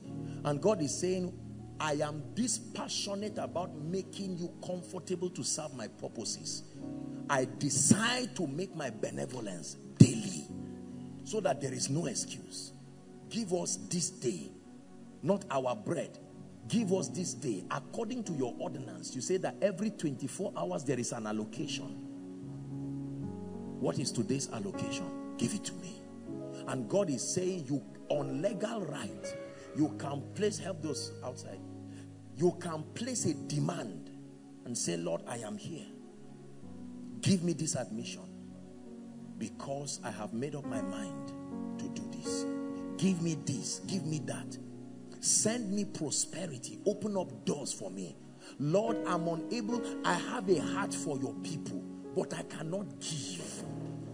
The reason why I cannot give is because the means is not there. And God says, I will not even do monthly with you. Let's go daily. I know many people never believe that there is something called daily bread. Notice, not daily flour.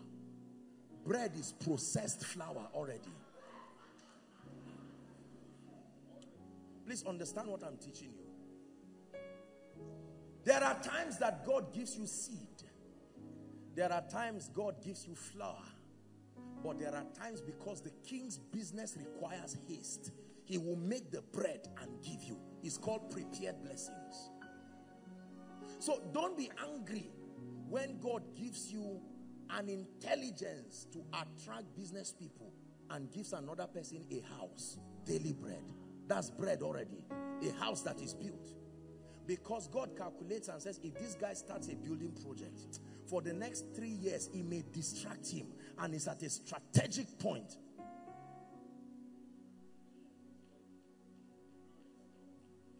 Bread. Was it not in heaven that bread that was made already from the oven of heaven? This is not a parable. Real bread came to the earth. It's not a parable. It's a parable. The Bible said there was a certain day. Real bread came. The Bible calls it angel's bread.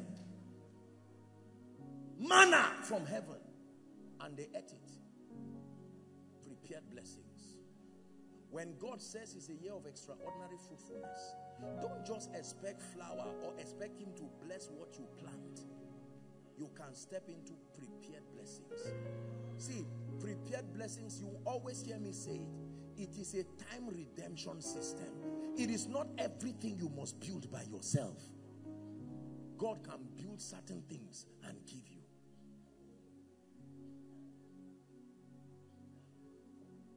Is the Lord speaking to us tonight? As someone can come and say, Man of God, this is what I will be doing. You don't have any business, you don't have any investment, but the Lord spoke to me that every month for the rest of your life, one million is coming from me to you until I die until Jesus comes. Now, it's not a license to be lazy, but that's prepared blessings.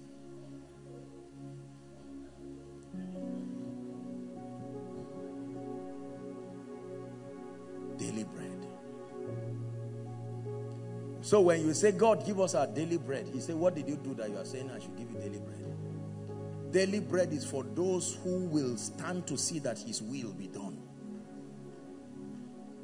If you are not ready, go and look for oven. Go and look for the farm. Go and look for the seed. Go and look for the baker. Look for the yeast. Make your bread. But when you say, oh God, more than just these things, you see my heart. God you see God. See, this is why you hear the testimonies of some people and it will annoy you. You'll be like, what is all this one? Someone is saving 100, 100,000 every month. And I'm not saying that is wrong. You want to buy a car. How much? 5.2. Thank God. You are saving 100,000 every month. But another person says, Lord, whether it's the car or it's me, everything belongs to you. You know this. Someone will just come and say, I'm leaving this country. I bought this car, six million. What do you have? Says, I have 150. Say, just bring it. Did you buy the car? How much is the duty of that car? Prepared blessings. If you ever desire prosperity in isolation to God's purposes, you are already in. The value of good things it is that they give us the allowance to serve him. See this is the foundation and i'm glad tomorrow is a workers meeting um, our workers retreat and all of that. We'll take it from there. Our retreat has started this night. Is very important. Listen I continue to teach everybody who belongs to this ministry and connected to this family. This is the core of our ideology that everything we ever press for it is to be able to give us the allowance to serve the purposes of the kingdom. So when you see us teach on wealth and abundance or the anointing or speed, none of these things are taught in isolation. They are useless when they are in isolation. They are only taught with respect to the role they play. When we hate poverty and hate demons and cast them out, whether through teaching or deliverance or whatever, the reason is because we have discerned how they interrupt God's agenda. So if I cause poverty from your life, it's not just because poverty is bad. It's because it, I have discerned that it has an effect. The impedance that it provides in your making spiritual progress is why we cause it. I don't care what stands your way. If it will not allow you serve God and not allow you advance, it deserves the judgment of God. Are we together? Why do we minister speed? Why do we pray for favor? None of these things are valuable themselves in isolation. But once your heart is stayed on birthing his purposes, then you can stand with confidence and say, Give me this day. There is an allocation for today. Hmm. There is. There is. There is an allocation for the day. When Jesus finished his crusade, three days, the people were hungry. If he sent them like that, something will be wrong about his representing God. And he said, Don't send them that way. Feed them. The people said, Where are we going to feed them? And they brought the young lad, Andrew, brought a young lad with five loaves and two fish. Jesus blessed it and said, Let me show you how the economy of heaven works. And they distributed it. Everybody ate. Why did they eat? Because they attended the crusade, not because they were roaming around the road. The only people who received that miracle were those who were around that crusade ground. If you were not in that crusade ground, go to your bakery. See, there is a yoke that is given to non kingdom people. That yoke should not be in your life. Your passion for God should exempt you. Please believe what I'm telling you. I will never allow my life whether financially or otherwise, to subscribe to the burden, to be in the similitude of the burden of a man who does not carry the program of God. Our experience should not be the same. Are we together?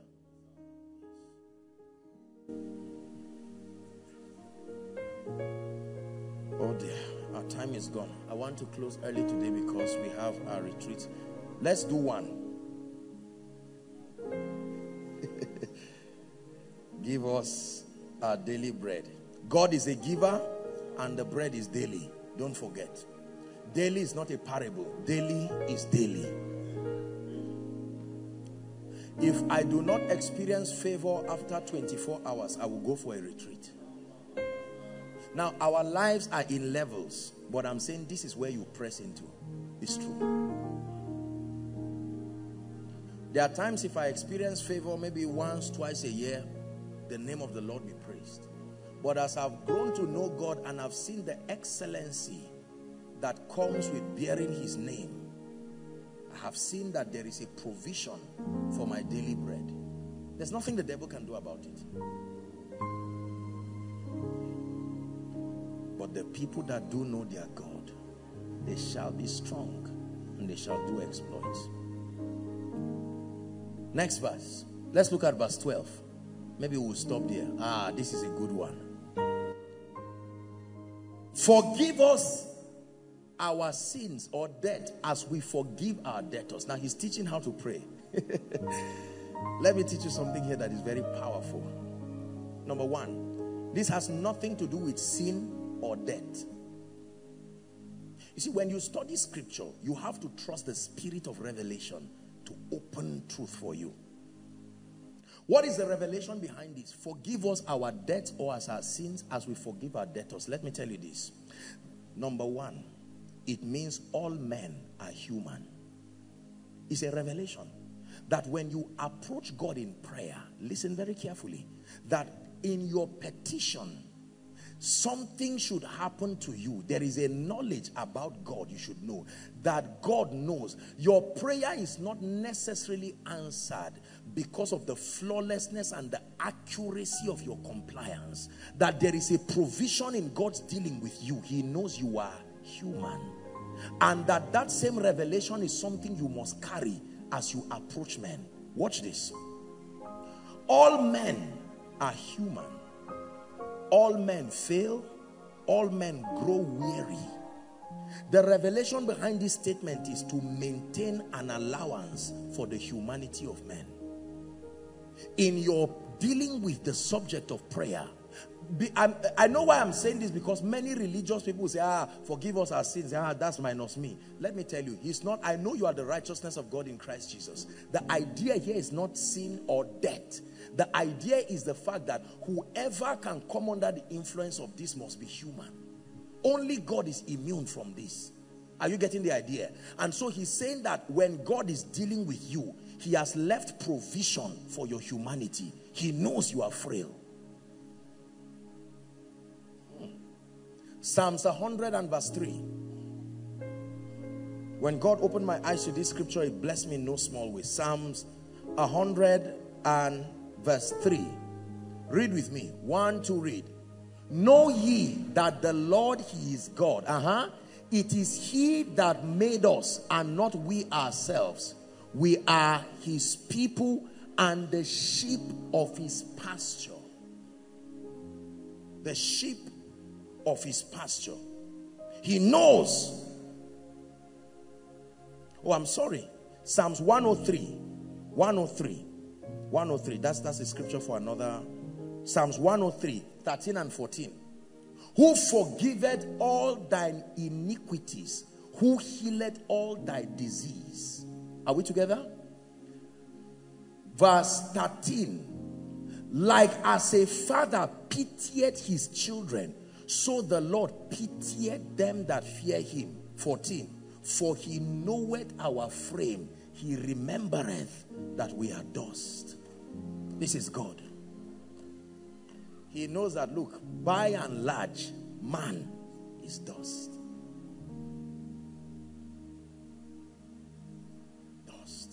That's why sometimes you can be asking something and God already knows what you really wanted to ask. He knows that what you are asking and the foolish way you are you are you are carrying is not your you are weak as a man. So he bypasses what your mouth is saying and answers what your heart is really praying. This is a God of heaven. You can pray and say, oh God, help me and kill my husband. And God knows that you don't mean to kill your husband. It's just that you are angry. Your husband has done something. In your heart, you are saying, I love this man. Why does he continue to hurt me? And your heart is really saying, God, change him for me. That's the one God answers. The, oh God, kill my husband. God just allows you. Or, Lord, if I don't give you this tithe by tomorrow, 12 o'clock, let me die. God knows you know, most, most of us have prayed those kinds of unbelieving prayers. And as soon as the money came, you forgot till 12 midnight. And you are still alive.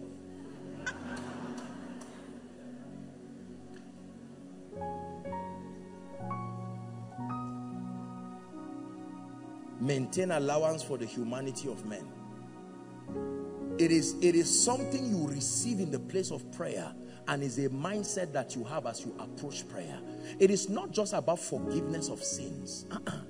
The Bible says if we say we have no sin, we deceive ourselves and the truth is not in us. That means the Holy Spirit is not in you. Are we together now?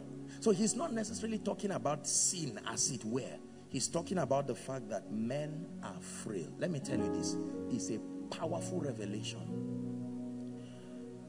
Matthew chapter 18 you will read something that will bless you now.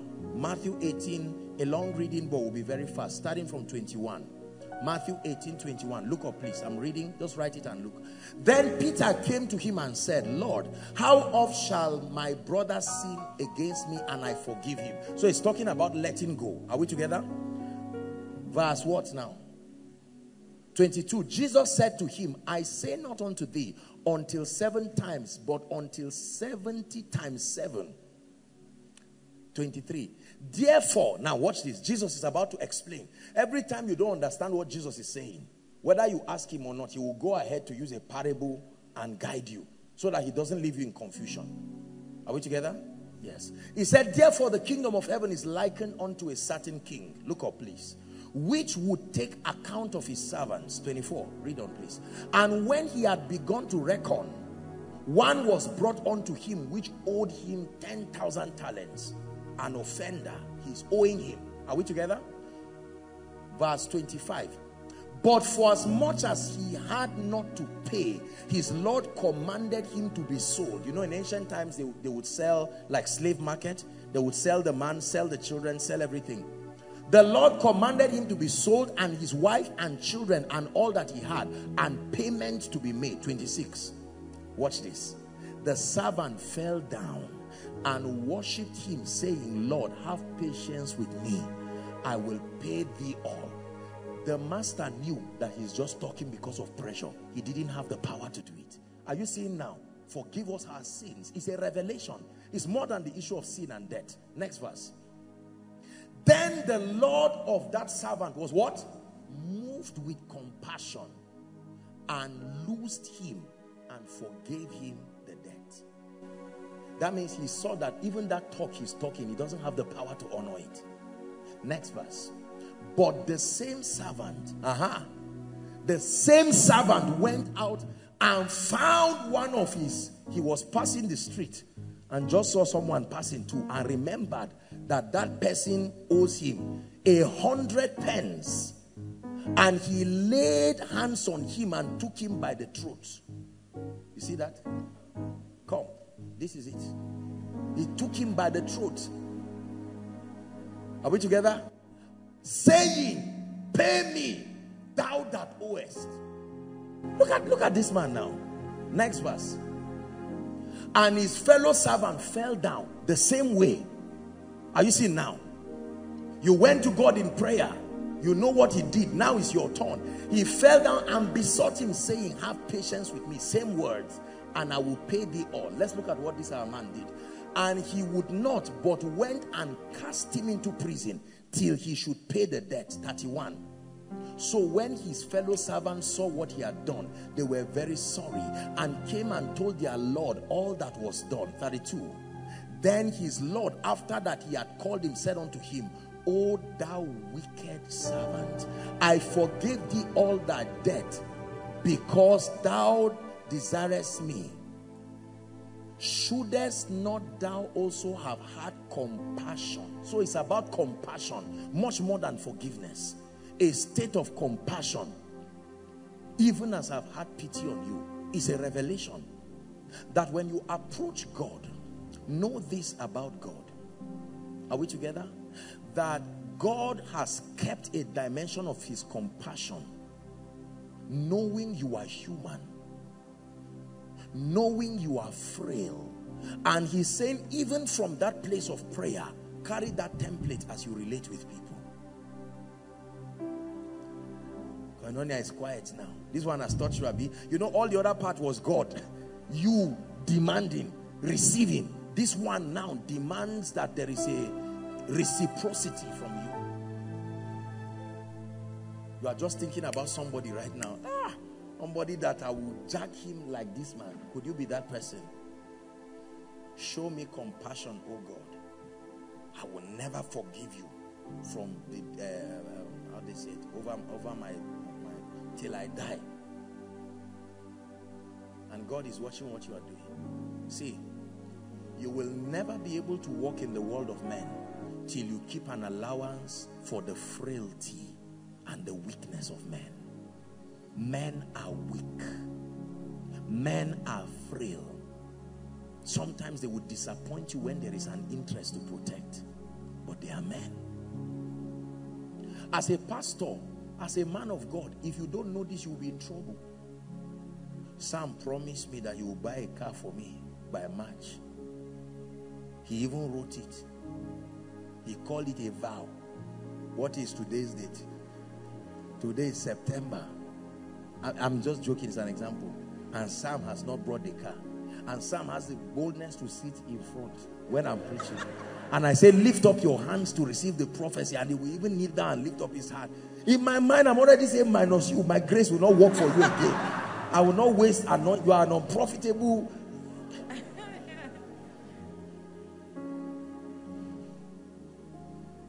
compassion. There is no such thing like we don't have this in our family. What family are you talking about? All these excuses that people give, say, Apostle, we are not like that. Uh, in our family, once we we we are warriors, we fight to the finish. Then you should know what it means to be a believer. See, truly as a person, I hardly get disappointed in men because the provision has been left already. You see that? Apostle, let me get a job. You know, Abba, I get a job. This water is water bottle that they will start putting in there. You are now a director. You see, let me teach you something ministers, pastors, hear me. All these promises that you carry from members, members promise me this. Lift up your eyes to the heavens and leave men know. They will frustrate you. I will pay rent for you for one month as my seed to your ministry. By month two, you'll say, I've changed my mind. You know, I didn't know that the the leaders will come back into power. I was expecting that. You see, human You take your eyes away from men and look up to Jesus Christ alone, the Son of the living God. Are we together? It's very, very important. Do you have compassion? Can you forgive? and more than forgiveness. There are some of you, if you are angry, it's until God gives you a revelation of maybe hellfire or directly tell you, help this person. It's a bad spirit. It's a wicked spirit. That over my dead body talk, be careful. Be careful. There are husbands who cannot forgive their wives. They are together. There are wives who cannot forgive their husbands. When they are 30 years in marriage, you say, you offended me the third year of marriage till today. I've not forgiven you. And yet we can go to God and say, Lord, thank you for your mercy. God, if I don't pray three hours for the next one month, let me die on my way to Kaduna. You didn't even, you didn't even pray, even for 10 minutes. Yet you have finished your master's. It's called, it's called compassion. Listen, I'm trying to plant in us something. Believers must be governed by a culture. Don't, don't conquer the limitation of your earthly family. There is no such thing like we are not like that. Nobody is born with compassion. It's something that comes with revelation. Can you love and love genuinely? Some of us have black books. Huh? Black, uh, black books. You write the names. That's wickedness. Even as Christ forgave. That luggage will interrupt your prayer. Do you know one of the greatest ways to minister is to minister by love? It's amazing how all of these encumbrances can unclog, they can clog the flow of God's power. I want to prophesy. Please come, Pastor Femi. I want to prophesy to Pastor Femi right now. And I stand here, but I remember he kept me waiting at the restaurant the other day. He promised me that he was coming and forgot and he left me there. Now, I'm not justifying what he did, for instance. But now you want to prophesy and that anger and that annoyance. You see that? The nature of your prophecy will justify that it's not God that sent it. Because God gives good things. When you walk by love, even your health tells. There are people who are sick today not because of oppression, the way they think. They think until veins, the doctor, these veins that come out on people's faces because of anger. They are, they are imagining, yet their hands are physically. You cannot live like that. You cannot be productive that way. When they see other people just giving God joy, koinonia is done and they are greeting, ah, Pastor Femi, how are you? They are just angry. And they are waiting for who is angry like them. So that I say, come, now that you are, we are, rejoice in the Lord always. And again I say, rejoice. Learn to rejoice. Learn to forgive. Learn to let go. It's okay. It's okay. The pot was not your own. The food was not your own. You know it's wrong. You don't see a pot that you don't have anything and just go and eat what is there. I was hungry. I had visitors. Sometimes the people may not even be repentant. Just let go. This is how unforgiveness works. I'm holding him. I'm not moving either. Are you seeing now? I can't move holding him. I'm holding him now, yet I want to move. I've kept him bound and I'm bound myself. Forgiveness is a type of giving.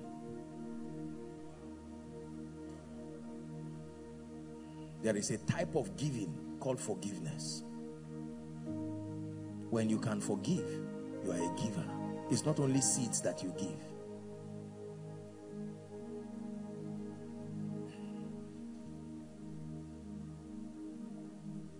Forgive us our sins. All men are humans. Don't kill your child because of the report card he brought. All men are humans.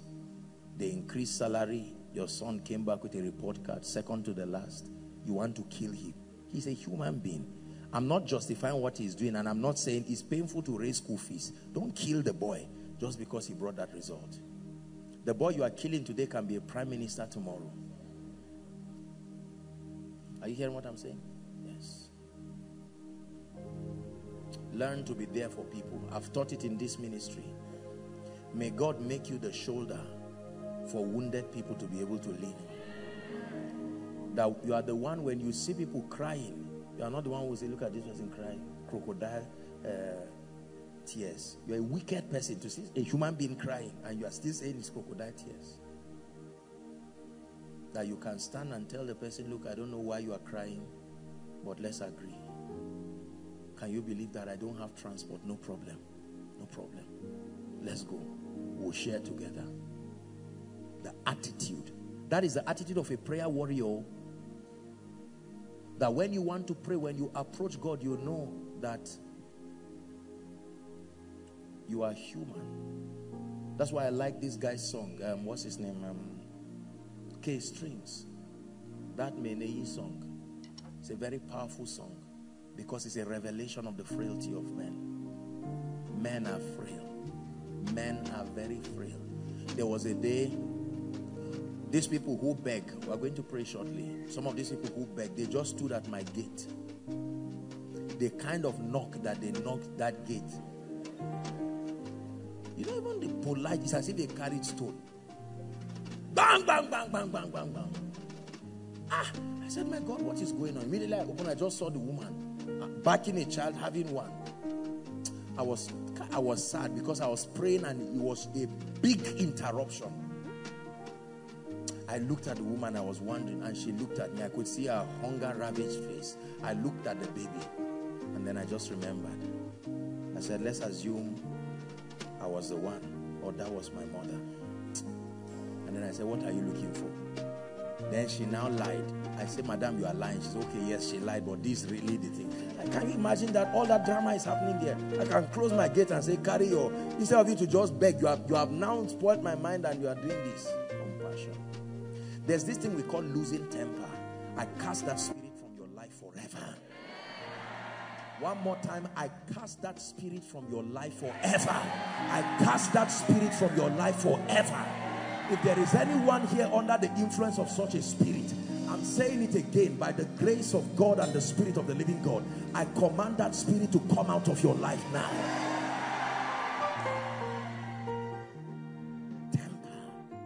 Some of you can carry bottle and break somebody's head. Huh? Some of you can carry shoe and nail, hammer, anything. It's a demonic thing.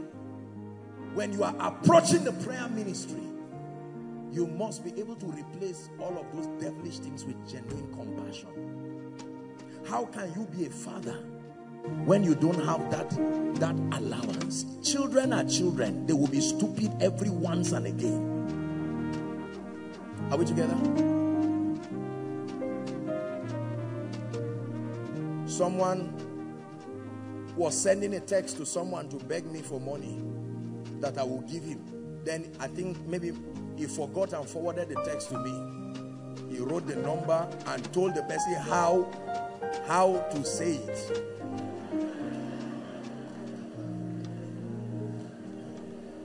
Now, I'm not looking, I am Abba, so I'm not. He had already told the person what not to say and what to say.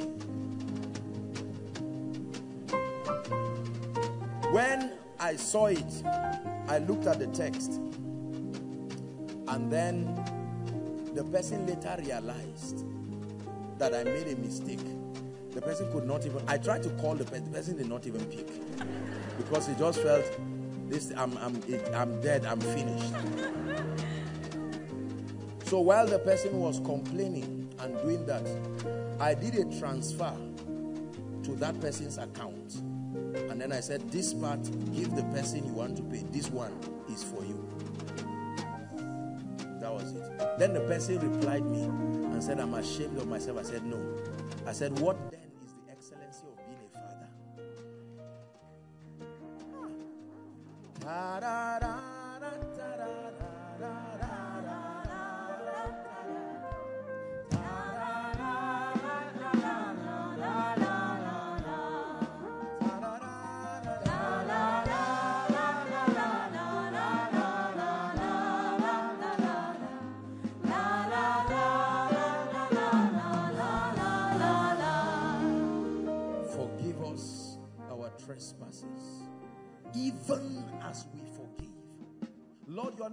one who has that mindset. I also receive it in the place of prayer.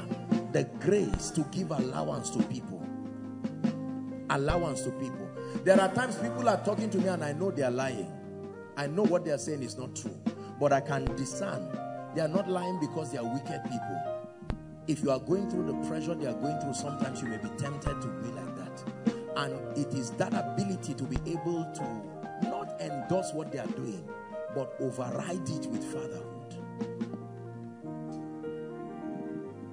Are we together? If God can show you that kind of compassion and you don't have for many, you are not praying according to God's pattern. You cannot say, Lord, look down my... Listen, there are many of us now, what is happening in our family is just because the man that was wicked is your father. But the truth is that that father man is under the curses of many people because of the way that man behaved for other people. Are we, are we together now? And then you now see and say, ah, my father was a doctor.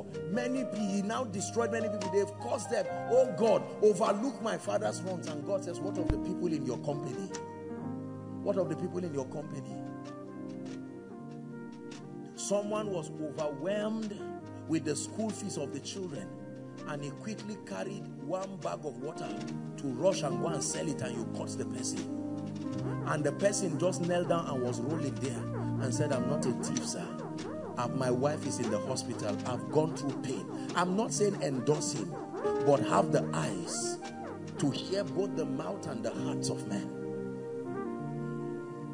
You cannot deal with everybody generically. No. Many times, I don't like to see people without invitation because of how it interrupts my plans. But there are people that come to my house and knock and I look at them and once I see them, I can discern the heaviness in their hearts. And I say, although this is not the way I do it, but I have to attend to you. Listen, let me tell you this. If you do not show compassion the day you will need it, that day, that's the day you will know that it is good to sow seeds of compassion. Many of us are not compassionate. Are we together? We'll stop here. We'll take part three. I'll finish this up. Then I'll now show you the dynamics of prayer. But this is very powerful. Our Father, who art in heaven, faith. Hallowed be your name, reverence. Your kingdom come, priority. Give us this day your needs met on account of your desire to see his kingdom come and then forgive us. We stand forgiven every one of us because of his mercy and grace. Why will you not show the same grace to others? Some of you after this night's prayer meeting you need to go back and just call your younger sister your younger brother and said you know what? It's three years now it's over with all of that. We cannot be fighting. Some of you can even be here in Koinonia. After Koinonia, you just walk up to that department and just hug the person. And you, when they hug you, make sure you don't behave like a devil. After this preaching that I've spent time to preach, when somebody comes to make peace, how are you? Don't just sit down and say, but, but you know, there's no special ceremony. We are all sinners. We were saved by the grace and the mercy of God same Lord is rich unto all. Yes. Hallelujah. Praise the Lord. It is selfishness that produces thieves. When you are stealing a man's phone, in your mind, for instance, you are not thinking, this person now, what of the contacts in his phone? Could it be that he's waiting for an alert for a job that will help his family? Could he be the first out of 20 people in the family? You don't care. All i know is phones. Look at the people who steal phones for instance. Not just around here all around the nation. They can literally carry maybe a knife or an axe or something. Harm somebody the kind of injury that 200,000 will not solve and carry a phone of 50,000 and sell it for 6,000 that is the epitome of self what of people who their loved ones die. And then they collect inheritance. And uncles and aunties say come and sit down here. I am your father's elder brother your mother's younger brother. Bring all the money. And then they take peanuts and give the family and sit on their inheritance. Self. What will make a politician carry scholarship for students students that some of them are the only ones sponsoring themselves and he will carry their entire scholarship and put it at the back of his pocket and live with it. Self.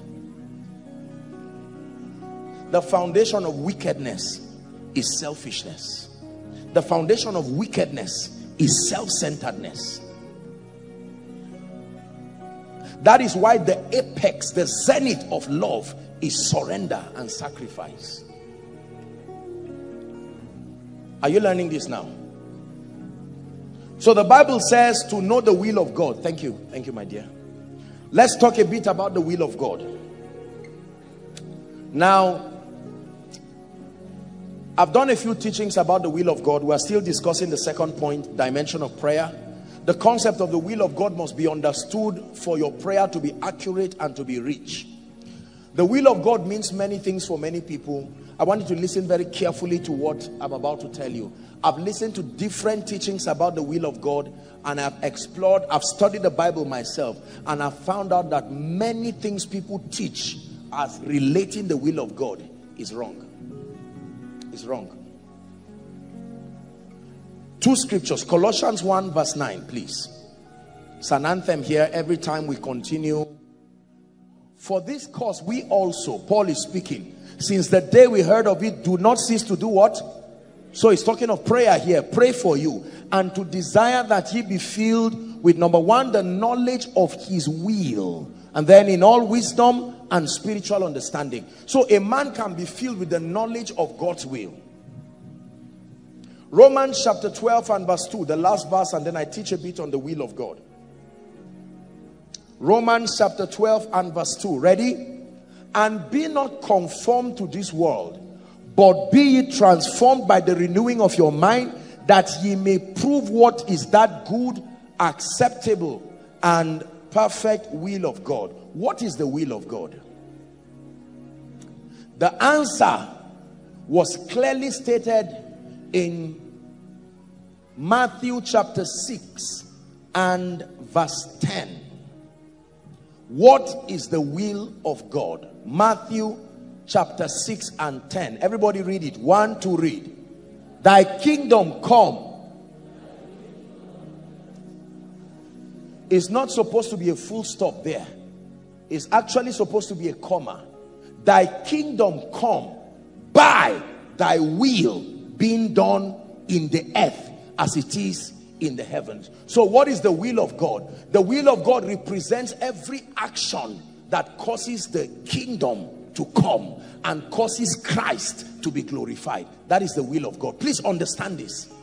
In the simplest term, the will of God is not just what is right.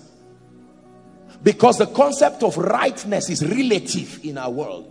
The will of God is any activity and any action. Let me define it very well. Number one, inspired of the spirit. Number two, consistent with scripture. Number three, that is able to cause the kingdom, the influence of Christ to come and that Christ be glorified whatever activity that revolves within that circumference can be called the will of God. Please understand this. The will of God, number one, inspired of the Spirit. Number two, consistent with the character of Scripture. Number three, is able to cause the influence of heaven to be revealed in a life and within a territory. And number four, it ultimately glorifies Christ. Whatever does not subscribe to these terms cannot, should never be called the will of God. This is a very powerful teaching. Are we together? The will of God. This is the answer. Whatever has the opportunity to cause the kingdom to come and to cause Christ to be glorified and I if I be lifted up from the earth, I will draw all men.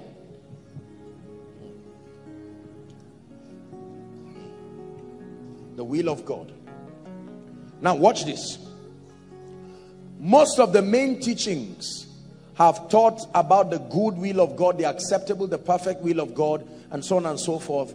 And those things are there, but I, I do not think that those are I believe, this is my opinion, and I, I believe it's consistent from scripture that there are only two dimensions to the will of God. Number one, I call it the revealed will of God. Number two, I call it the permissible will of God. That's all there is. And let me let me define it very quickly. I hope you are not confused in this lecture.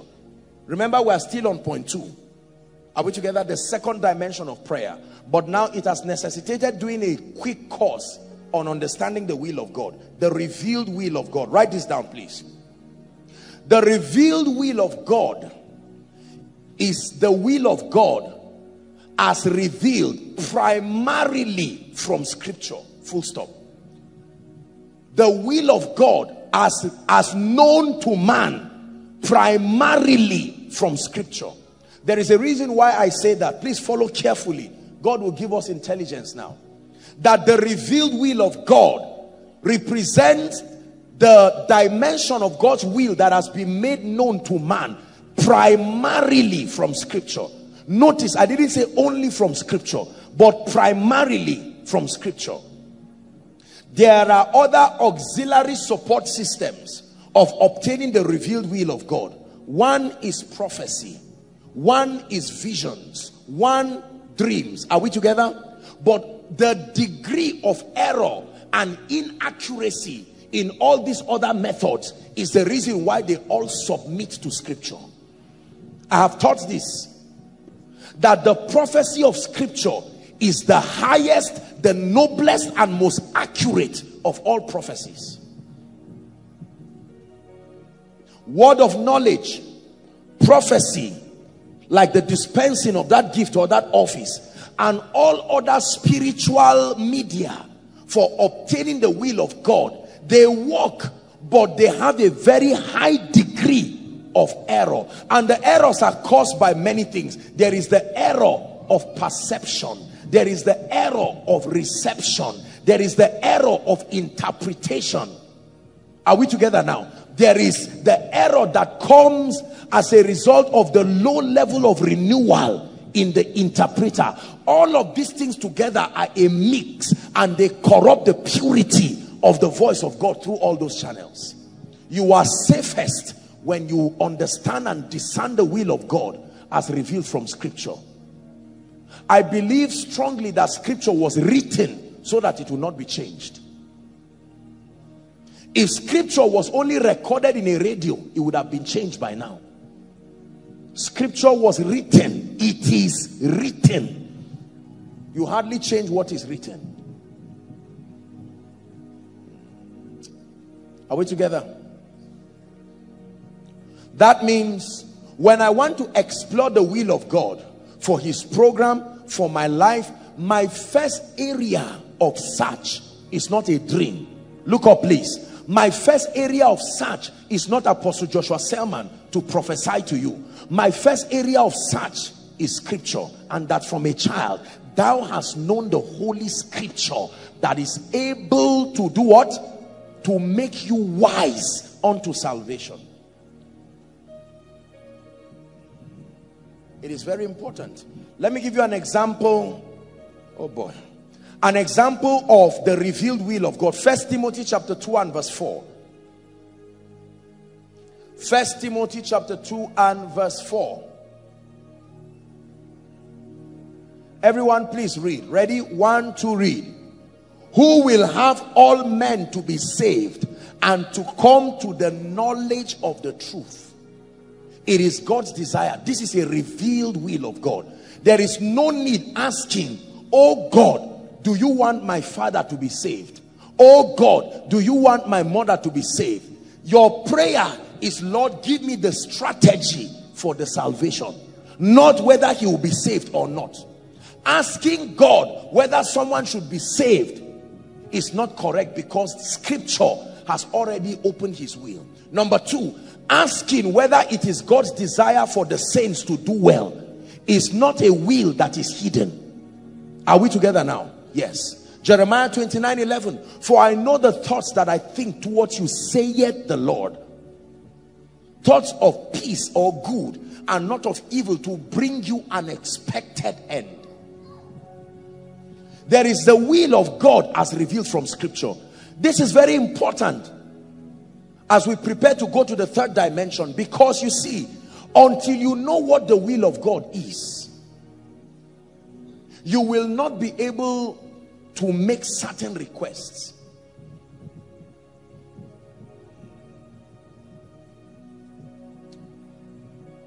There are things we do as a ministry. There are privileges we give to workers. There are privileges we give to leaders. Are we together now? It is, it is something that has been put on ground. the workers the leaders know. And based on that knowledge it's not a mystery if they are if the workers are not sure they can go to their heads of department and their executives who help to interpret what has been put down by the ministry as far as their welfare and their provision is concerned. Are we together now? Yes. For instance in this ministry whatever program we are doing as workers or whatever the moment it is night it is mandatory that under normal circumstances vehicles are around to help alleviate the stress of moving in darkness. It's not something that is a special arrangement. It is so. After this service now there are buses that will be waiting to pick people. Are we together now? Now asking apostle do you think that there will be a bus after this service? It's unnecessary because that will has been revealed. Are you getting what i'm saying now the scripture already has the most accurate dimension of God's will. His will as revealed in scripture and then demonstrated in Christ. Now listen carefully. The Bible calls Jesus the image of the invisible God. And I've taught you here that Jesus came as a correction of the perceptions we had about God. There were many things we did not know about God. There were many things we knew but not properly about God. So we look at the life of Jesus in his earth walk and we learn God by looking at Jesus. There's no need asking whether God is a God of love. We see it in Jesus. We see how he treated sinners and publicans. We see how he treated children. We see how he wept at people's funerals. So we know that God is love because Jesus is, was, and continues to be love. Are we together now? God is a giver. How do I know that? Five loaves, four loaves. Little children, have you any catch? Cast your net to the right side. His life was full of giving till he gave his life. So I know God is a giver. So when the Bible says he is the rewarder of them that diligently seek him, I trust God because I see that truth of scripture revealed in Jesus. I know that God is slow to anger and judgment. Why? Because Jesus was walking with some disciples and they saw some other people and said, can we command fire to fall? And Jesus said, do you not know what spirit you are of? The Lord is gracious and compassionate, slow to anger and rich in love. Jesus became a demonstration of that. So nobody will come and talk nonsense and tell you, ah, God will kill you tomorrow. Throw away all that garbage. Jesus, greater than any prophet, is a representation of the fact that God is slow to anger. Let God be true and every man a liar. Are we together now?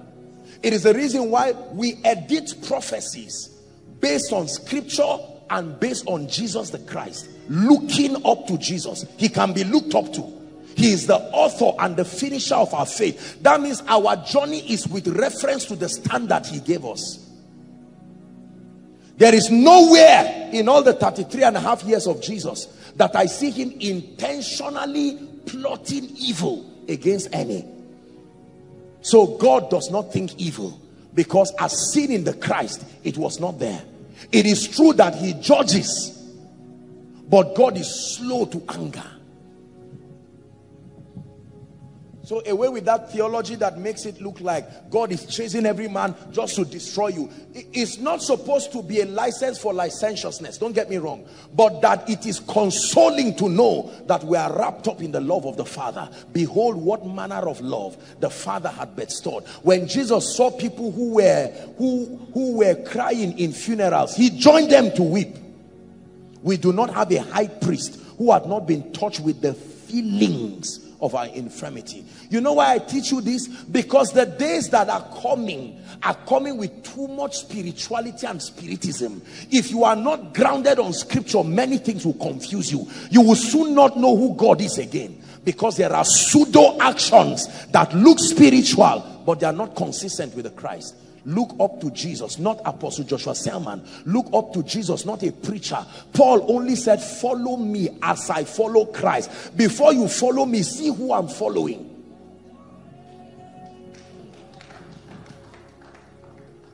Are we together? Let me tell you this. The revelation of God's love in my life has done something to me. When I say God loves me, I really mean it. It's not because of the results. He loves me. I have an understanding with God. Not only see my father, this is not about covenant of ministry and this. God loves me. I hear the chains falling. That's what is happening tonight. Chains from all kinds of teachings, well meaning but destructive. The will of God is that all men be saved and all men come into the knowledge of Him. It is the reason why in this ministry, for instance, we do not fight our wounded soldiers. We stand for them. If people do things and go down, we are quick to come. You see me preach and it looks like I'm always holding a cane. Yes, I'm holding a cane, but remember thy rod and thy staff. I told you they don't do the same thing. Rod is for correction. Staff is to draw you. You need both. If you are a preacher and you have only staff, you will see the kind of members you produce. If you have only a rod, you also see the kind of members you produce.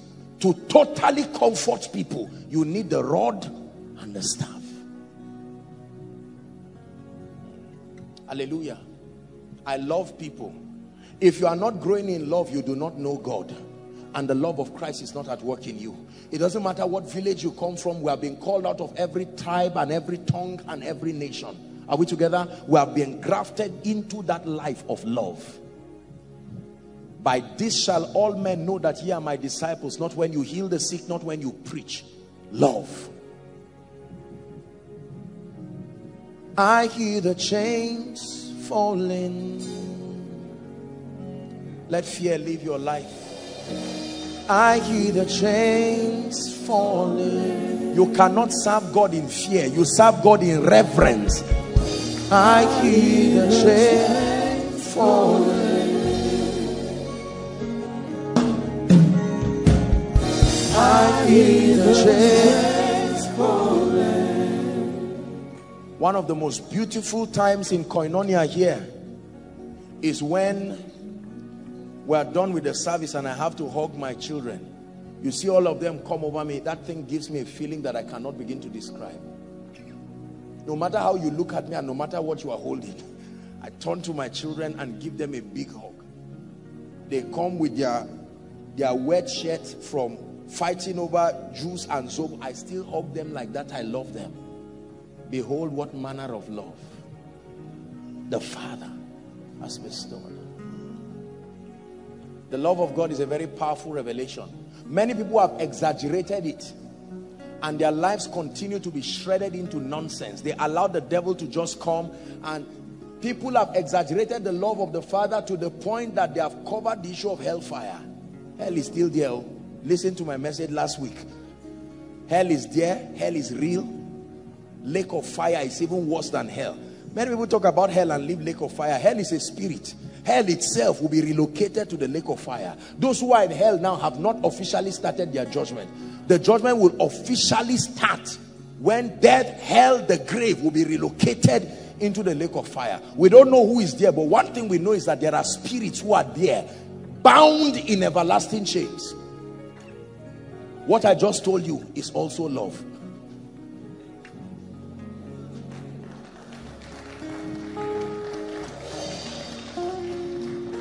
Use this as a father and see how correct your children will be.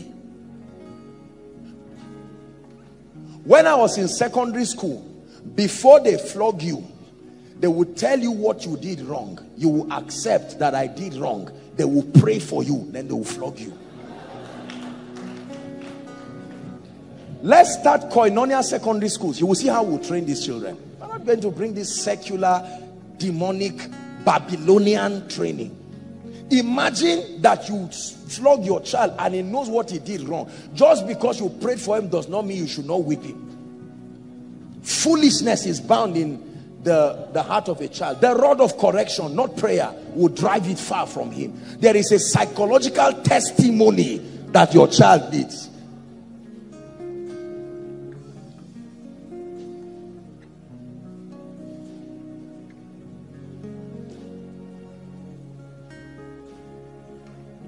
I'm only serving what the chef prepared this night. Remember I told you that I'm only a waiter. The principal chef is the Holy Spirit. And his meals are always balanced and nourishing. Say amen. So there is the revealed will of God. Number two, there is the permissible will of God. Let me talk about that very quickly. What is the permissible will of God? Now look up please. I will say it, then I'll repeat it as you write. The permissible will of God represents actions that are within the boundary of righteousness, God's character, and that directly exalt the Christ. The permissible will of God represents actions that are within the boundary of righteousness, comma, God's character, comma, and directly exalt Christ. Now, just because it is permissible does not mean it is necessarily not the will of God. Permissible there does not mean God is managing it. Look up, please. There are things in scripture that are not written verbatim. There is nowhere in scripture that is written that you will be in Zaria now. There is nowhere in scripture that is written that you have five children. Now, please look up. There are dimensions of God's will that are not stated directly from scripture. At that point, we use the tools of righteousness. We use the tools of God's character. And we use the tools of the exaltation of Christ as the compass to help us to be able to walk around that will. These three first then in addition, prophecies, visions, and the rest come. Notice, the Bible says the kingdom of God is in, talk to me, righteousness, peace, and joy. Never in visions, never in prophecy. No, the kingdom of God is in righteousness. That means God's methodology, peace, joy in the Holy Ghost. Now, let me tell you this this is the major area where as believers we have suffered a great deal again and again. This dimension of understanding the permissible will of God. Sam has a program in two weeks return to worship. Now whether or not you had a vision or a dream or God just put it in your heart the truth is that that program, if it is done in righteousness, are we together? If it is done consistent with Christ's character, and if it will end up glorifying Christ, it is the will of God that will support the kingdom as powerful as the will revealed in scripture. Are you getting me now? This is where all the other auxiliary things like finding who to marry, a job to do, there is nowhere in scripture where it is written that Pastor Alpha marry Annie. But within the boundary of righteousness, if you marry an unbeliever, it was not the will of God. Are we together now? But that within the boundary of the will of God, you can find a sister that loves God and her life is consistent. What is virtue? Virtue is a reflection of your closeness to the character of Christ. So I don't need to see a demonic sister or a devilish brother and ask, is that God's will? No. In koinonia here, for instance, if you come and meet me and you tell me this girl that you use for example, you like her, for instance, it can be within the boundary of the will of God. If you are a well-behaved brother and you are responsible, are we together? It's my responsibility to vet you based on the will of God righteousness responsibility love. And I can tell you with all the blessings of God and God will stamp it and endorse it. Are we together? There are very few people on earth who because of their lives listen carefully and because of the nature of what they do for the kingdom god will meticulously place restrictions around everything in their life because the role that they play someone like me now you see almost everything about my life is meticulously guided. Do you know why? The reason is because I carry a burden of a generation and the implication of everything I do is generational. But that is not, that cannot be a template for you. It is the price I have to pay for carrying this anointing. There is a maximum number of cars God has told me I may never have it. If at all it comes and it's more than that. You see, God has searched my life and he has, he has optimized the things that must be in my life for me to be effective. That functioning at your optimal level will require this. There are people who functioning at their optimal level will require that they are millionaires, not billionaires. Some it will even require that they are not millionaires at all. But it cannot be a template for everybody. Scripture. Come. This brother now can be trusting God for a job. Lord, should I go to Enugu or should I go to Lagos? It is not written here directly. The only thing is that the path of the just is as a shining light that shines brighter and brighter onto the perfect day. So these are foundations. I can take out time. If this brother is given a job right now, he needs to look at that job. Does this job compromise on my work with God? Are we together? Will this help me to be responsible? If it does, then within that, this gentleman can safely go on that job. Now, if for any reason that decision he has taken is against destiny, God will go out of his way. God does not only lead by saying start, he leads by saying stop. There are times you don't wait for him to say start, you move. If he keeps quiet, he's endorsing you. If he says stop, you return. I, am showing you certain things about the will of God. Oh God, should I build a house? God is a God of portions. It's never his will for me to be a tenant for life. So if some money comes wisdom that is profitable wisdom that is profitable to direct should tell me buy land and start building. If it is not the will of God God will show me. Are we together our precious men here have married good and lovely sisters. Not all of them saw visions. Some of them just directly in the name of honesty. They saw a sister who loved God. They came to me and I said, God bless you.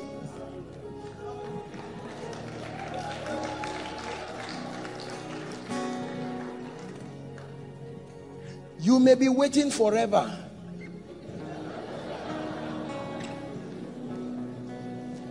For a dream a vision, some occult type encounter. No. Listen, I'm, I'm telling, I'm using this as a point of contact. Listen, my brother, let me tell you, I'm saying it is not a, you can sit down and trust God. Look at a godly sister. God already gave you what virtue is. Virtue is not just the ability to cook. Virtue is your closeness to the character of Christ. Find a godly sister that looks like that.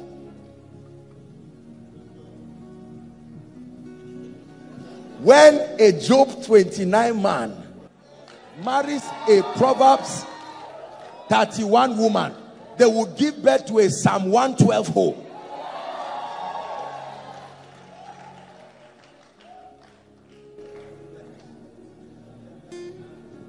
Are we together? There are people today who God already answered them and gave them good jobs but not understanding the concept of the will of God. They are waiting for a vision. NNPC gave you a job, you rejected it because God called you into ministry. I'm not saying it's wrong.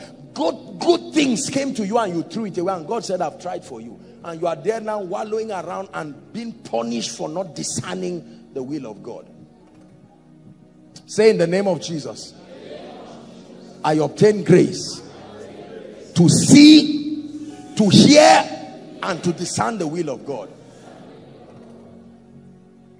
You are with a, a man who is smoking and drinking and ungodly and you said I will change him. You are not in the will of God. Let me just tell you straight up this night. The ministry of transformation is exclusively the ministry of the Holy Ghost. Any man that does not change before marrying you will seldom change. He will remain that way. And any man who changes just because he wants to marry you has not changed. Whatever a man does to only you, he's not really, is not a virtue in him. If he's kind to only you, he's not kind. If he's truly kind, he will be kind to everybody. Kindness will so implicate him even if he tries to lie to come out a lady who washes only your plate is not neat the virtue of thoroughness and excellence must spill out in every area. I hear the chains falling. Hey, I hear the chains falling. when God brings a destiny helper that is blessed you don't fight him because you have been taught that all blessings come from God through men to men. And if the men don't have what you are looking for you will not have it. So it does not make you to look down on others but you pay attention. When Joseph of Arimathea is coming you pay attention. When Pharaoh is coming oh Joseph pay attention. When Boaz is coming Ruth pay attention. When Ahasuerus is calling for women, Esther, pay attention. Is how God lifts men. God lifts men by bringing those greater than you to lift you. It's a technology, it's not hidden. How does God increase a ministry? By anointing them and putting the word so that they minister to people and the people that are built by that word will communicate benevolence. The offering you gave is not going to heaven. The offering you gave is what will pay boss tomorrow. Buy sounds so it's not a mystery. The more i continue to be anointed and i bless you and dispense spiritual value the more this ministry will continue to increase and i will also increase. There's no gimmick about it. So if you are poor and your pews are empty the problem is the value, not just demons. The knowledge of God's will will help us to stop talking a lot of nonsense. Bishop Oyedepo says every man's calling is a high calling. Nobody has a low calling. Everybody's calling is a high calling. So if you are failing in your life, take responsibility. Don't say God made me to be small. Sit down and say, why is my life not moving forward? This cannot be the will of God for me. To keep begging every day as a man, moving from pillar to post. I am a prayer warrior. But in addition, I should be blessed to be a blessing. Genesis 12 verse 2. And in thee shall all the families of the earth be blessed. Hallelujah. Are we together? If you get married four months five months your wife refuses to get pregnant don't sit down asking nonsense and say whether that is God's will. Be fruitful. Genesis 1 26 be fruitful is his written will. The priest that blessed you on behalf of God prophesy to you. Immediately you should know something is wrong Listen, obey scripture. If you are wrong, let God take responsibility.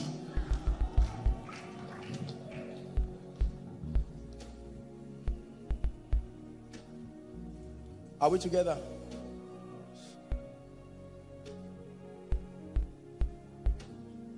A job that makes you compromise on your spiritual life. A job that takes down your prayer life. A job that cuts you away from the community of believers that can build you. You don't need a vision. Get out of that job immediately. I don't care how much you are being paid. What shall it profit a man? He's talking profit. If he gains the whole world and loses his soul, I repeat, get out of that job.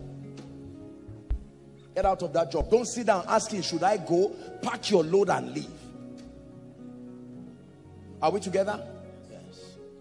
You are in a church, for instance, that is full of manipulation and full of all kinds of things. And you see that the character of what is done is not in accordance to scripture. There is no integrity there is no godliness there is no feeding of the word of god. There is the responsibility of a shepherd as designed by scripture. Any man who is not doing it is not a shepherd period. I will give you pastors after my heart. You sit down and you every week, everything from you is going. You pack your load and get out of that place. There is no need praying and say, Lord, should I stay there? No.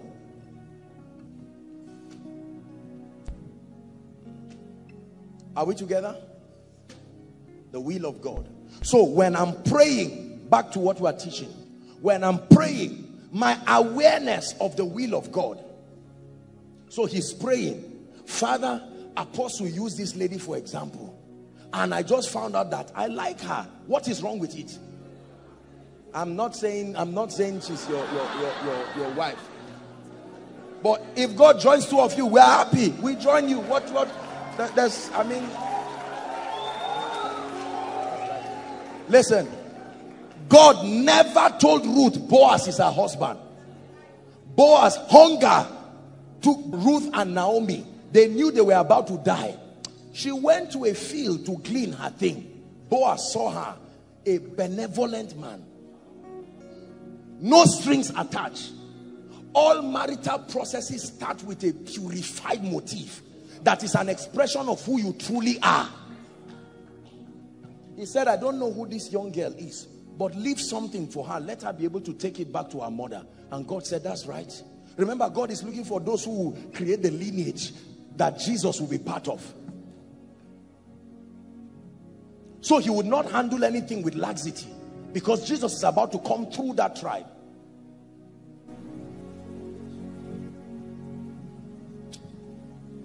Are we together? If you come and meet me as a brother and say, Apostle, God is showing me a particular lady, I'll say, let me stand representing what the parents will tell you. Straight up, I'm not even going to waste your time. Do you love Jesus? Yes. Congratulations. Are you a responsible gentleman? Yes. Prove it. There are two kinds of responsibility. There's psychological responsibility where you are getting the mindset that will help you to be serious. Two, there is structural responsibility where now you are beginning to produce fruit. Even if you don't have structural responsibility and you have a mindset that wins based on the word of God, we can stand to say, no, the way you are going, what is in your mind will eventually come. Are you seeing that? But you are not responsible. You are not under authority. You are a careless person. You live your life. Your relationship is like occult. Nobody is going to give you any daughter. At least not not any of my ladies here. And you ladies we have created a template to help you. If you like don't follow a path that god has created for your redemption. And and follow cunningly devised fables until it lands you in trouble. See the, the, the house of god is supposed to be a place of guidance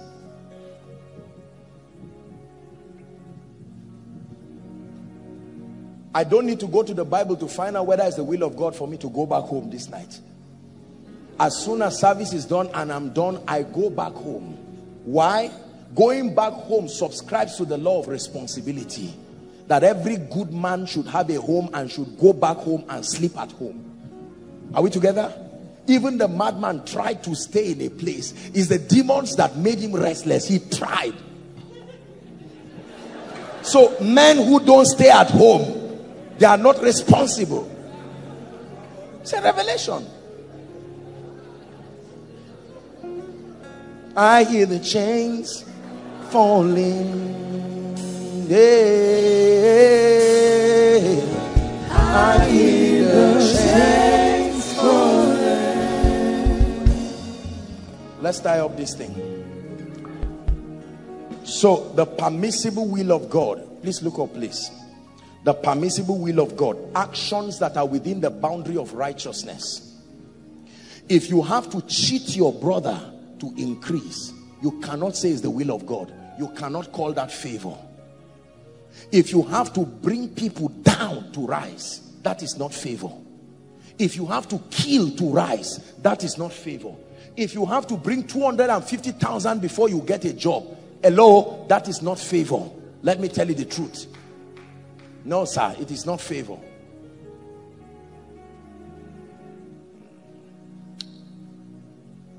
Knowing what the will of God is. So, the first dimension of prayer is fellowship and growth. The second dimension is obtaining promises and making requests. All of these that we have been discussing are still under that. Thank you. Thank you so much.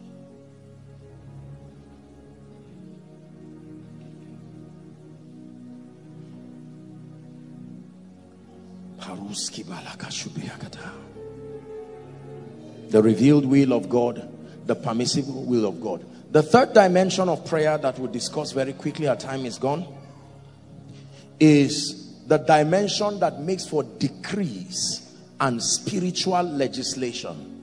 Decrees and spiritual legislation. I've taught you three dimensions of prayer. Number one, the dimension for fellowship and growth. Number two, obtaining promises. Obtaining promises. And I told you that to obtain promises, you must, number one, have a heart that is selfless. Number two, you must ensure that your request is within the boundary of the will of God. Then you can ask confidently. This is the confidence that we have that when we ask anything in his name, he heareth us. Are we together? And then number three, the dimension of decrease and spiritual legislation. Now, please pay attention. This is the dimension of prayer that does not so much deal with talking to God. This is the dimension of prayer that deals with rearranging realities based on the word of God. Please understand. This is the dimension of prayer that is concerned with not only talking to God, but talking to things, talking to circumstances, talking to time, talking to demons, talking to elements of creation to line up with the will of God. That's why I took out time to talk to you about the will of God. Because if you do not know the will of God and the provisions of scripture, decree and spiritual legislation will not be possible with you. What then do we say to these things? I know what God has made for me. I know what God says should be in my life. This is also the realm of prayer where words, listen now, become like arrows in a man's quiver. Words are instruments of creation. The following scripture. Ecclesiastes chapter 8 and verse 4. Please write down these scriptures. These are the scriptures that we must have in our minds when we want to engage prayer as a system for making decrees and legislating spiritual realities. Ecclesiastes chapter 8 and verse 4. The A part says, where the word of a king is, talk to me, there is power. Where the word of a king is. And then Revelation chapter 5 verse 10, just write it. Don't give us media, just write it down. The Bible says we have been made unto our God kings and priests or a kingdom of priests and we shall reign, not in heaven, in the earth. So I know under God that in Christ, my words are not ordinary. My words are powerful. Please listen, everybody, overflow one, two, three online. Listen carefully. This part of this teaching concerns you seriously. Number two, Proverbs chapter 18 and verse 21. I'm giving you a few scriptures that guide you when making decrees and establishing realities in the spirit. Proverbs chapter 18 and verse 21. Death and life, help us media, we have to rush, are in the power of the tongue. Death and life are not in the nozzle of a gun.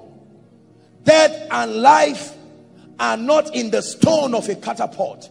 Death and life are not in the edge of the sword. The Bible says they are in the power of the tongue. And they that love it shall eat the fruit thereof. I use words to program life I use words to program death. I can program life over territories. I can program death over territories. Number three, Job chapter 22 and 28, popular scripture. Write it down, please. Job 22, 28. Thou shalt also decree. Everybody say decree. To decree means to pass as law. Thou shalt decree a thing and it shall be established not unto everybody, unto the one that decreed it. Thou shalt decree a thing. Thou shalt decree life. Thou shalt decree increase. Thou shalt decree victory. Let the redeemed of the Lord say so. God has already brought them as the redeemed. Let them say so. Are we together? The word of a king. Thou shalt decree a thing and it shall be established and the light shall shine upon your ways. Number three. Isaiah 43 and verse 26. Isaiah 43 and verse 26. Read it please. Ready?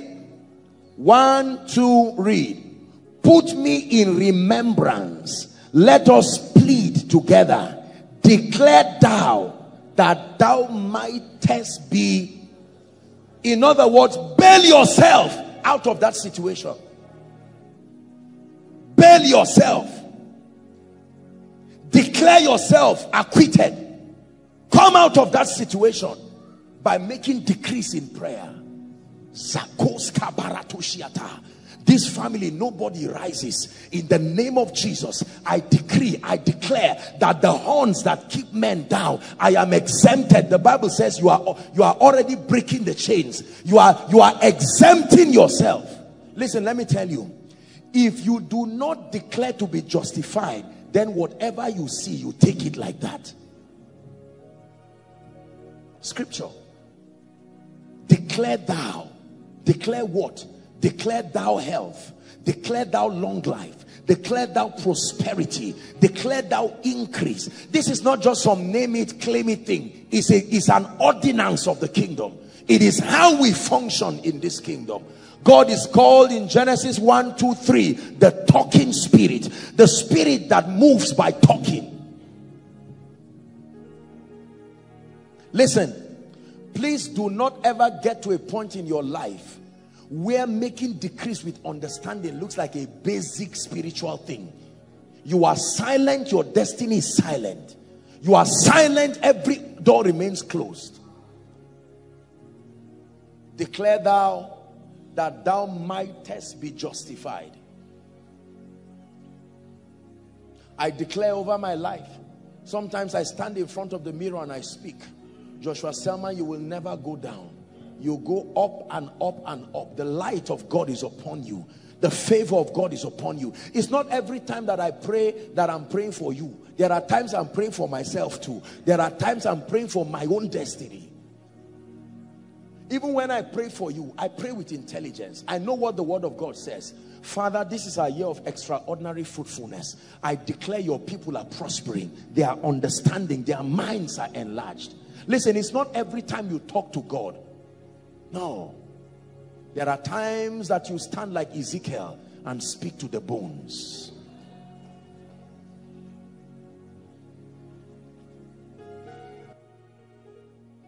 Can these bones live? Only thou knowest. And he says, prophesy. Prophesy. He spoke to the bones and there was a sound. And it came. And all the bones came together, but there was no life. And he says, son of man, he says, prophesy to the four winds and say, thou wind, breathe upon this slain. And the breath entered them and they became an exceeding great army.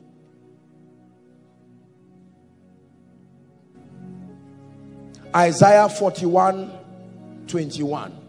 The Lord showed me this scripture in 2004 and it changed my life. One, two, please read. Produce your cause, saith the Lord. Bring forth your strong reasons, saith the King of Jacob. This is like a law court. and you are bringing the basis for why such and such and such should happen to you. Why should I lift your family? Why should I promote you? Bring forth your strong reasons. See, let me tell you this. Many people are prayerful, but they are wordless. Is why the prayer is not effective. We pray in tongues, important. We pray to God and we ask prayers, but most of our prayers are outside of the jurisdiction and the methodologies of the word. It is important. See, this is the missing link. This is where the disciples missed it. They were praying amiss. You can be prayerful and not get results because you are praying amiss.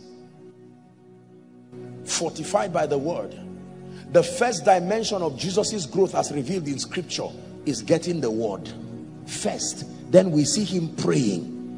We did not have the opportunity to hear what he was saying in his 40 days prayer but at least we heard what he said in Gethsemane. So we know that his prayer was consistent with scripture. If it be thy will.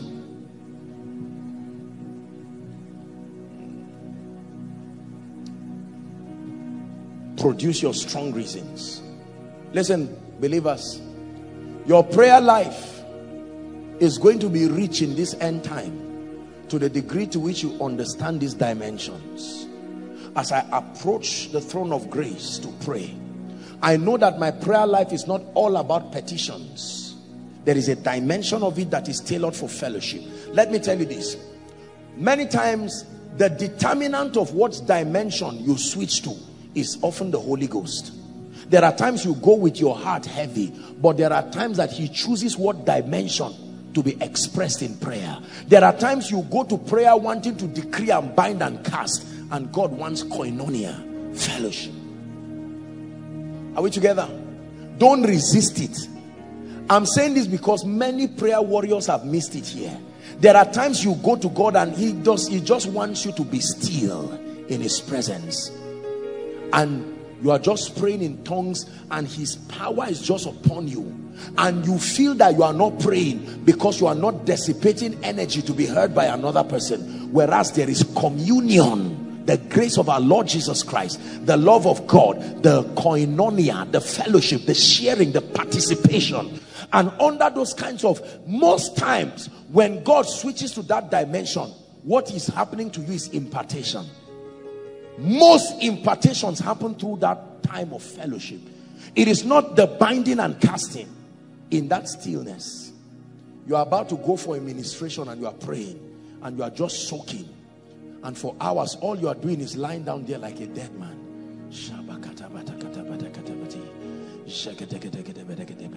30 minutes one hour and that anointing is on you waves and waves and waves of the glory. You stand up from that encounter and go for your ministration and you will see the demonstration of the power and the spirit. You will see great grace. You will operate in the fullness of the grace that God allocated. You ask those who know me, when you see me praying and preparing for koinonia, especially for miracle service, you can be in the living room and you will not hear me. Sometimes when I'm alone, just like that, I can be walking around for a long time. Just walking around. Next thing I carry a paper, I'm writing. God is speaking to me. I'm walking. Sometimes God is opening my eyes and I'm seeing the things that He's going to be doing. I'm writing. And God is revealing things. See, let me tell you something. I'm not saying it's in the Bible, but it's something that has helped my prayer life. Try praying in the night. Minimize light Many times when you pray in the night, you need darkness to see light. It's a mystery that only prayerful people understand. Help that person running out here. I have prayed most effective in an atmosphere where my eyes can see very few things. You hear God. The distractions are minimal. You are not looking and checking and then seeing your phone beep and say, ah, maybe it's the alert that has come. These things are distracting. God is speaking destiny things to you. you need your attention i love praying in the night off the lights you may just have red lights here flashing green light. It's enough for your eyes to see. Use your your phone. That's why you know some of us who just gave our lives to christ now thank god for you but you see we had a privilege of praying well because many times we prayed outside and we prayed in the night. When god gives you money and you build a good house build a beautiful garden so not for visitors for meeting with god. Go back to the garden of eden. What a beautiful place.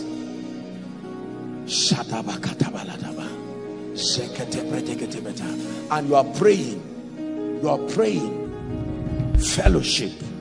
Son you have done well. It's time to move to the next level. Do it this way. Do it this way. Change this. Change that. Yes lord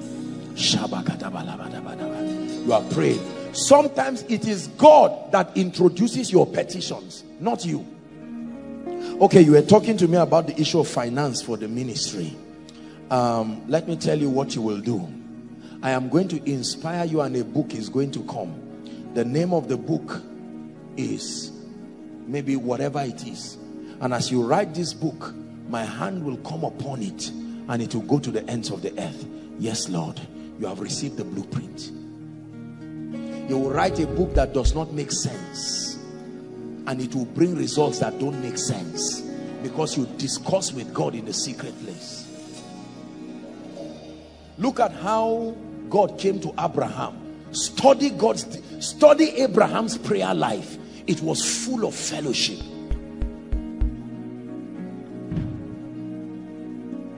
and then there are times that you carry a burden and you go to God sincerely. Lord we need to talk. There are things we need to talk about. See let me tell you this. Do not be afraid to come to God with your needs. Do not feel less spiritual. The truth is that God wants your joy to be full. Bring the school fees issue. Bring the your brother issue. Bring the salvation issue. Bring it before him Lord why am I still going back to my village in my dreams? I thought I was free. Come before him. He's your father. This attack that I thought left me this thing that I thought I'd breaking I'd broken free from one year two years ago why is it coming back to my life? You can come to God in prayer. Lord why is it that when I'm blessed I'm only blessed for three weeks one week I go back to look like my past something is wrong? You can pray you can go to the God who answers prayers. And then there are times my brothers and my sisters where you obtain grace from God but you need to stand. Can I tell you this? Most of the victory of a believer listen carefully will come through dimension one and dimension three. When you do one and three effectively you will have little of petitions to bring. Spare me two three minutes. We'll wrap up with rules of engagement. I will show you some of the do's and don'ts in prayers. Decrees are powerful.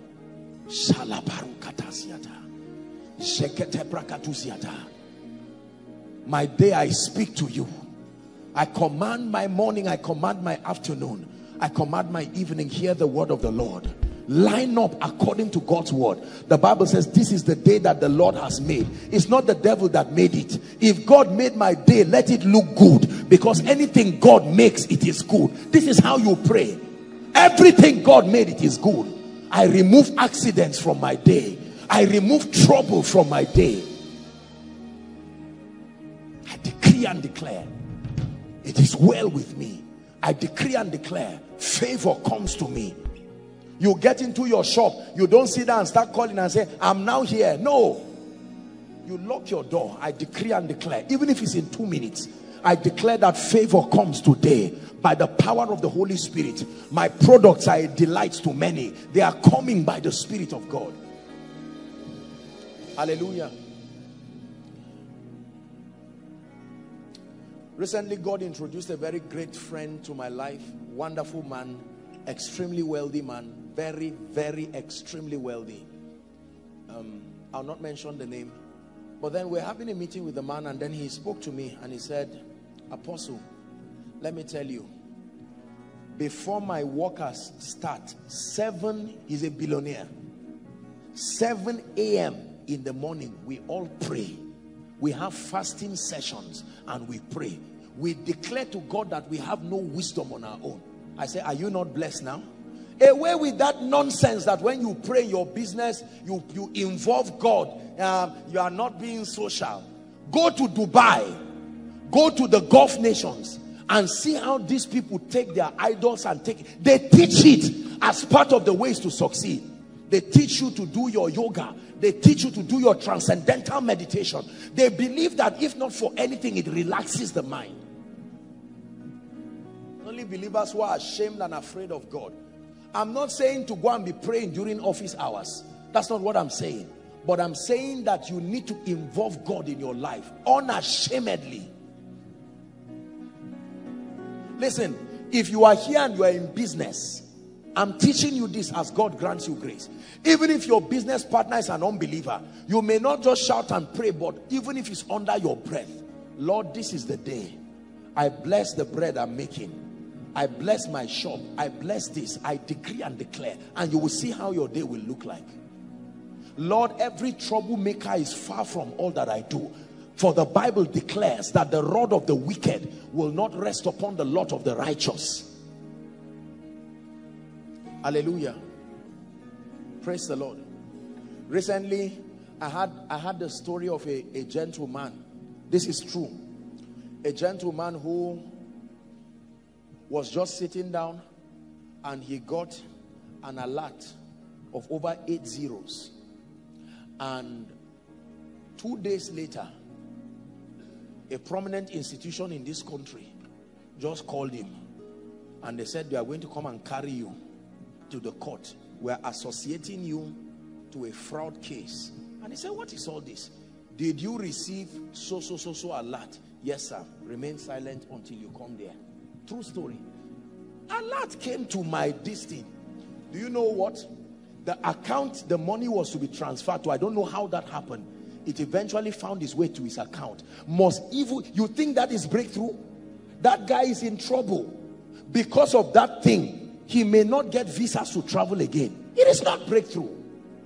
You want to transfer money, corrupt money, quickly to somebody's account, then it's my own account. No, the rod of the wicked will not rest upon the lot of the righteous. When I had that thing, I prayed for myself because people bless me all the time. I prayed for myself. Lord, let nobody carry stolen money in this country. So that they will now put on newspaper, expose Apostle Joshua Selman is involved with somebody's money. Shout no way. Listen, I'm telling you that if you do not decree and you live your life barren, you can receive 100 million in your church. One year later, you are in prison. Everything that is evil and would destroy you, may God keep it far from your life. But it will not just happen just by talking. Listen, you are the priest of your destiny. You are the prophet of your destiny. I will continue speaking over your life, but you must learn to speak. Speak. As believers, we approach life from the standpoint of victory. Remember that our decreeing is to establish Hallelujah.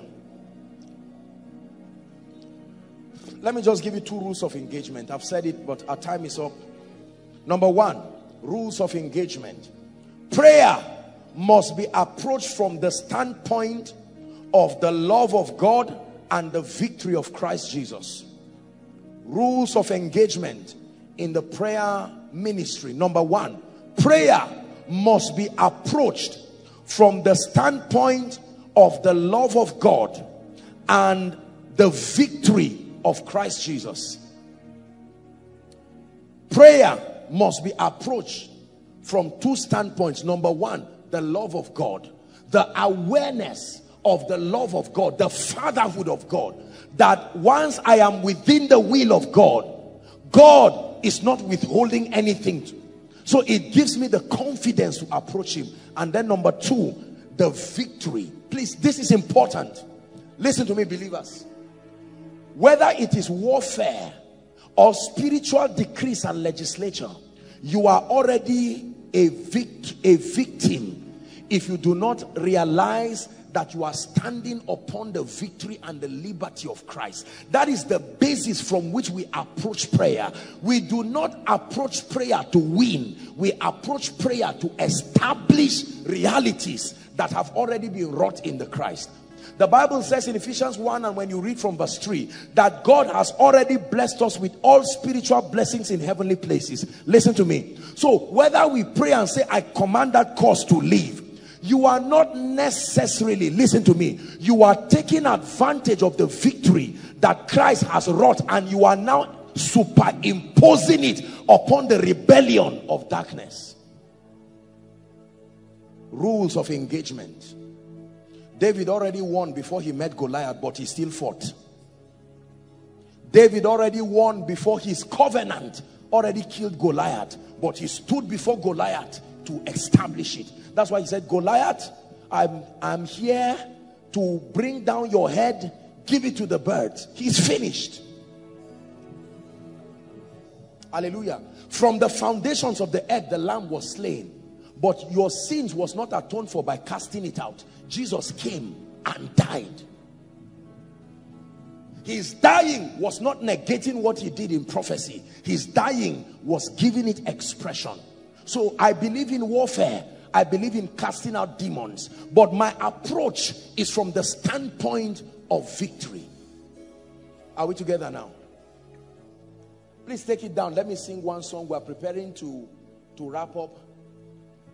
Um, what's that, darling Jackson? Every high thing must come down. Every stronghold shall be broken. You wear the victor's crown. Every high thing must come down. Every stronghold shall be broken. You wear the victor's crown. You overcome. One more time. Every high thing must come down. Every stronghold shall be broken. You wear the victor's crown. You overcome. You overcome. Listen to me. Listen, Koinonia. You must approach life like one who has won. You must approach life like life owes you because you are victorious. Now, thanks be to God who always causes us. He's already doing thanksgiving. Thanks be to God. I never approach life to win. I approach life to establish victory. I never cast out devils um, as as as the basis of victory i cast them out because the bible tells me i already have authority this is very important it looks like it's a little issue but it's a big deal in the realm of the spirit listen you are already blessed. That's why you prosper. You prosper to give evidence to the blessing. Prosperity is manifesting the blessing on you. You are blessed with wisdom. You are blessed with relationships. You are blessed with favor. You are blessed with divine direction. These are true riches. When you engage them and they produce prosperity, it is not when money comes to you that you are blessed. Money comes as a receipt that it is true you are blessed.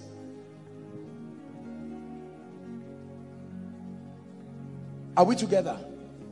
The awareness you own the universe you own yeah. everyone on earth you own that's my father the universe.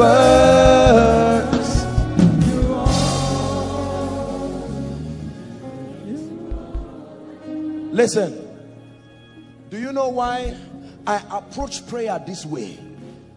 I don't approach prayer hoping that God will answer me. No, I don't approach. If it is not the will of God, I don't even pray it. If I'm confused, I inquire in prayer.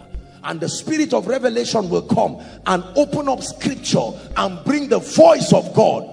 I only pray when I'm sure of the will of God. If I am not sure, I pray to know the will of God. Then knowing the will of God, I pray to establish it. Listen, when you know this, your prayer becomes rich. Because every time I catch you praying, you should be doing one or more all of the following. Fellowship or obtaining promises in the spirit or establishing reality. Whether you are interceding for souls, whether you are speaking over territories, it comes under spiritual legislation. That way, you are walking in dominion. This is what prayer was designed for. We are doing many things today that prayer was not designed for. It is the reason why we do not get results. Your prayer life cannot go down when you see the necessity of prayer. You know that without prayer my fellowship will be bankrupt. Without prayer i cannot obtain promises. And without prayer i cannot create a climate of the word of god in my life. When do we pray? All the time. Anytime. Anytime is right for prayer. Anytime is right for prayer you can be bathing and making decrees. My day is blessed in the name of Jesus. Any time may not be conducive for the study of the word because you need the Bible you need materials you need time. But any time is conducive for prayer. I may excuse you for not reading your Bible today but I will not excuse you for praying. You will need time to settle down and really read and meditate. But you don't need any time including when you turn to the other side on your bed you can train your spirit man. Listen. If you are not filled with the Holy Ghost here, with evidence of speaking in tongues, it doesn't matter what you believe or don't believe about it. There is a dimension of the priesthood of the saints that you may never come into. Please hear what I tell you. This is not some debate it is truth from scripture that there is a dimension of prayer. Tonight we are going to borrow five minutes from our time and we are going to pray. We are going to obtain promises and we are going to make decrees. Is someone ready to change things in your life? Please rise up on your feet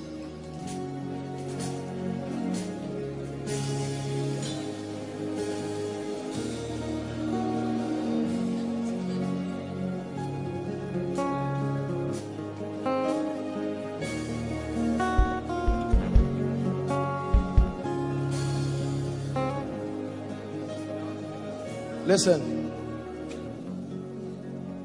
The Bible says, You have not because you ask not.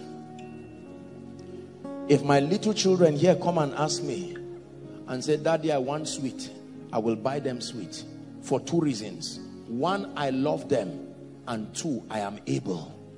Now unto him. The him loves you, and the him is able to do the two conditions for making sure your needs reach you have been solved. As far as God's side is concerned, he loves you and he is able. Please listen to me. God loves you and God is able. God loves me and God is able. Therefore, there's no restraint from him giving me the anointing. There's no restraint to lifting me. God loves me and he is able. God loves me and he's able if I do not obtain then it means my heart is selfish dogged in rebellion and I am praying outside of his will. Can you open your mouth and in the next two minutes just pray in the spirit? Pray in the spirit.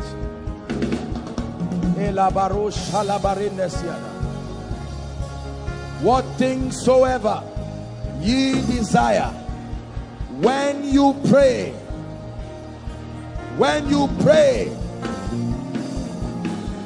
when you pray, koinonia.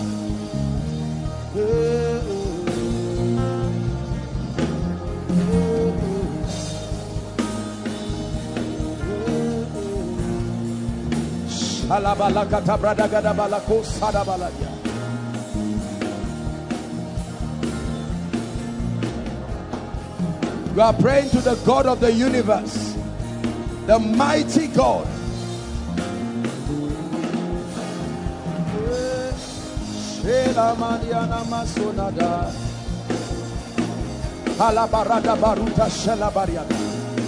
Please pray, Koinonia.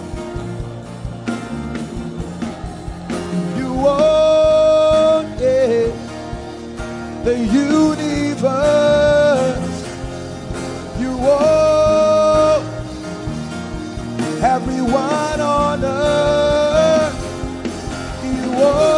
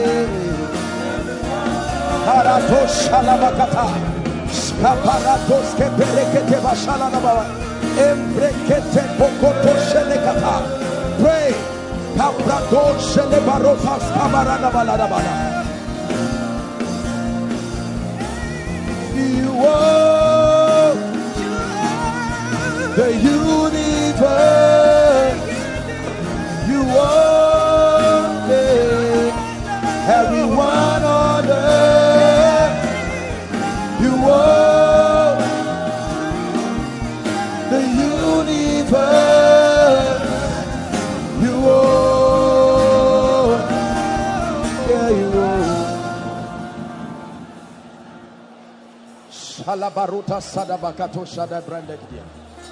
Hallelujah. Hallelujah. Obtained promises. Obtained promises. Obtained promises. What things soever ye desire, when ye pray, believe that thou received it and thou shalt have it. Listen, in the next two minutes, I'd like you to receive things in the spirit. The things that the Bible said. Please don't take casual this opportunity. We're operating under an anointing. I'd like you to declare, receive by faith in the name of Jesus.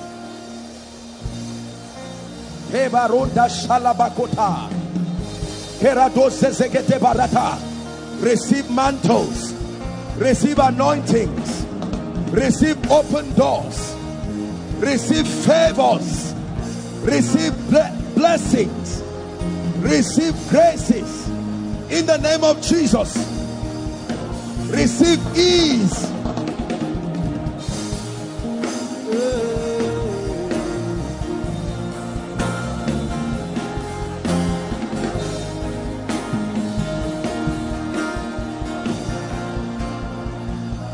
Ask that you may receive, that your joy may be fulfilled.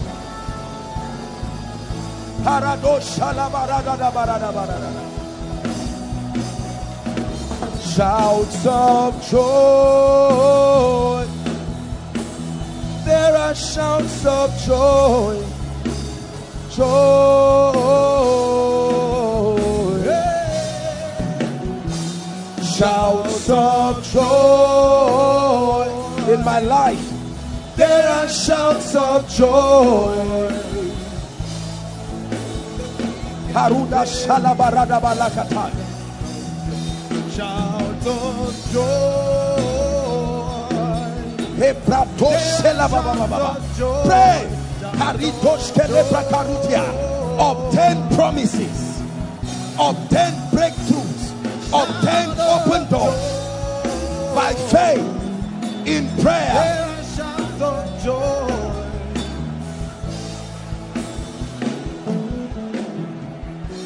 Hallelujah. Praise the Lord. We're wrapping up. Now, please, I'd like you to take this remaining two minutes seriously. You are going to make decrees. You are not talking to God. You are talking to your destiny. You are talking to your life. Are you ready to pray? Open your mouth and make decrees. Lift up your heads, O ye gates. Lift up your heads. I command closed doors be open in the name of Jesus. I hold the keys of David and I command the doors open that no man will shut. I decree and declare my path is as a shining light. It shines brighter. It shines brighter unto the perfect day. I decree and declare I shall not die. I live. I choose life. I choose life. I reject death. Not by accident. Not by the sword. Garrison with favor like a shield. Garrison with favor like a shield. In the name of Jesus, I grow from glory to glory. I grow from power to power. I grow from grace to grace, from anointing to anointing, from wisdom to wisdom. Koinonia is like a shining light that grows brighter and brighter unto the perfect day. The Lord gives the word from this place, and great be the company of them that publish it. Bless your children, bless your wife, bless your husband, bless your home, bless your finances, bless your spiritual life.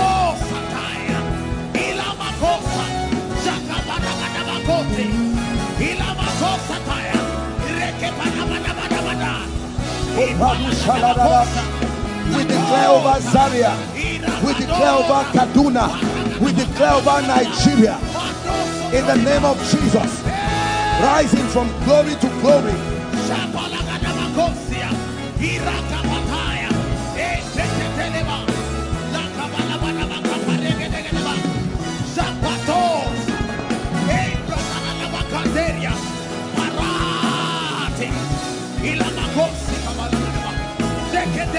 Everything I do prospers in the name of Jesus.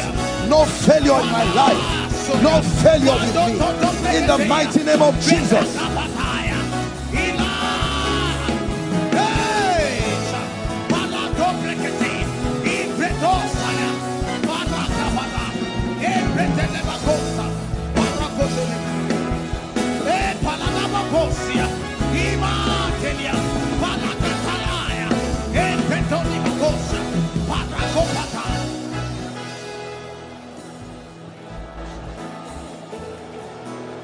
Hallelujah.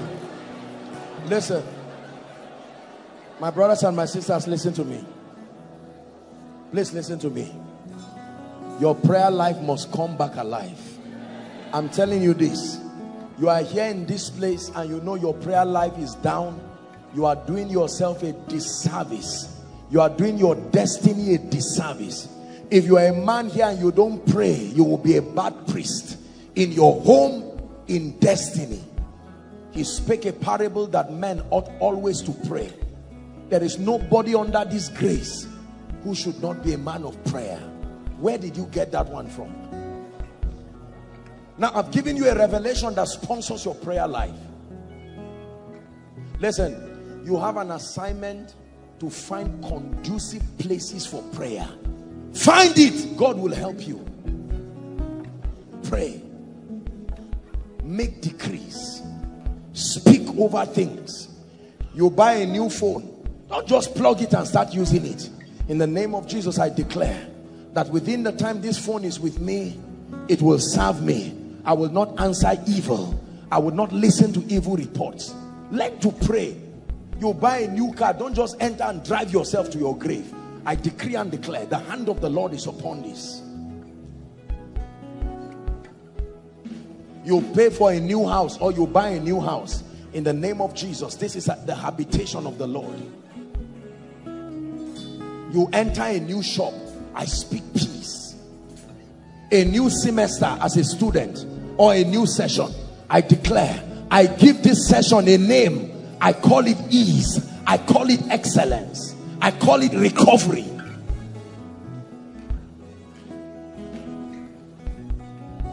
Pray as a couple. Pray with your children. Pray as business people. Pray as a man of God. Pray all the time. Pray these dimensions of prayer and watch your life continue to rise. Death will come and look for you. It will turn back. Failure will come and look for you. It will turn back. Everything that does not have the signature of the Christ will come and look for you and go back. Your life only becomes an unending epistle of wonders. See, let me tell you this. I stopped being afraid of my success when I found out it was God and me that were controlling it.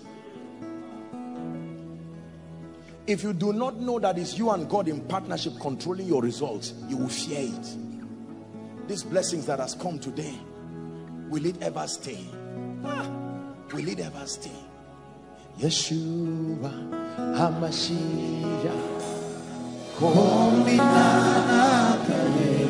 How dare you ask me whether my tomorrow will be better than my today? Of course. Of course. No man's opinion is involved. God alone and I agree with him that tomorrow will always dwarf today. It's a covenant of growth. That koinonia's tomorrow will always, God will give us peace by all means. Yeshua HaMashiach. See, listen, honestly, and may God forgive me if this sounds like pride. But you see, I love people. I admire people. I respect and honor people. But I submit to you in the name of the Lord. I have never ever desired in my life to replace myself with someone else. When I found out God's love for me, it's a blessing to be me. It's a privilege to be me. I'm honored to be myself. It's a revelation. God has invested his love in my life and protects it jealously. Like a hen watching her young. Even the egg that has not hatched, she still watches it with the same jealousy. Please let prayer change you. Most people, prayer is not changing them because it's not derived from knowledge. If I pray for you rejoice. I really blessed you. Because when I pray he hears me. It's not a song it's an experience. He does not hear me as a man of God. He hears me as his son he hears me as his bride. He hears me as his servant. He must hear one. If he does not hear me as his son he will hear me as his fellowship in the place of intercourse as his bride. If he does not hear me as his bride he will hear me by reason of my office. So if i tell you i pray for you believe that i really prayed for you.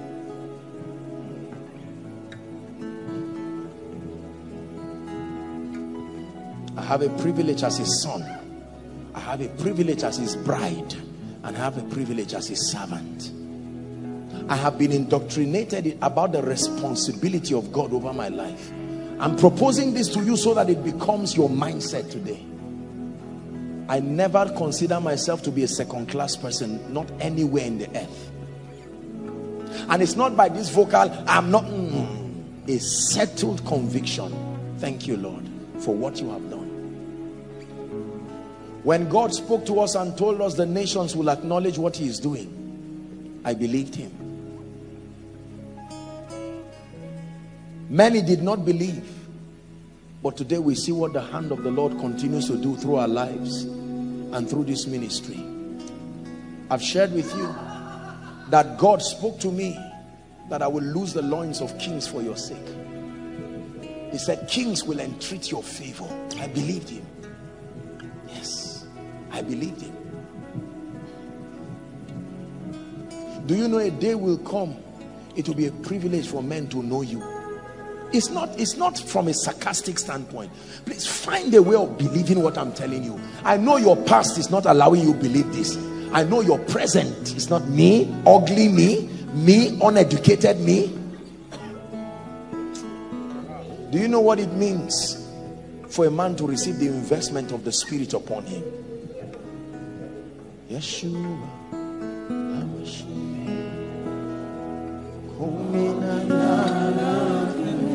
The next time anybody looks at you and makes it look as if you're a failure, don't fight him. Just pray for him. The next time someone looks at you, you put your hand in your pocket and you come out with an empty pocket. It's not enough reason to look down on yourself. Run away from people who demean you and look down on you. They are sincere people, but they are not good people. This is what he has chosen to make us. Epistles of wonder. There is nothing anybody can do about it. See, let me tell you, this is just a step out of the cave. Keep watching. You will watch episodes in your lifetime of what God can do with men. He will make us specimens. It doesn't matter what message, it doesn't matter what truth. It's nonsense. When you find a key, a door will always open. It's not pride, it's the truth. A day will come, we will stand. And as those flags float, and you watch the nations crown for an opportunity to touch you, and says, You belong to this family. Can I have the privilege? You will stand and say, My God. There are bodies terrestrial, and there are bodies celestial even among the stars one different from another in glory. My father owns the world. It's not some childish talk oh mm -mm. i believe it. It is true. Nobody nobody nobody has the power to intimidate you. God will cause you to triumph and get see don't belittle yourself. If god wants to use you tell him yes i'm usable. If god wants to lift you say yes. God says i will prosper you. Don't sit down and say god i'm too small. God you mean me? I will be a man of god's a woman of god's husband a man of god's wife me? I will be a don't let no devil talk you down. We come from cultures that always like to show we are not important based on vain parameters never call cost what God has not called cost. Peter, kill and eat. And he said, no, no, no, no, no. He said, do not call unclean. They may call your tribe unclean. They may call your results unclean. But when God sits upon it, it will produce something that will mentor nations. A day will come, we will mentor kings. A day will come, we will make the word of God alive again. Like the days of Seth, and Adam knew his wife and she bore Seth. And men began again to call upon the name of the Lord. All hands together let's run. Komina nakane Komina nakane Komina nakane Ya Yesu Yeshua HaMashiach. Kominanakane Yeshua HaMashiach. One more time. Kominanakane Kominanakane Kominanakane Yesu. Kominanakane Yeshua. Yeshua HaMashiach. Kominanakane Yeshua HaMashiach. Kominanakane Father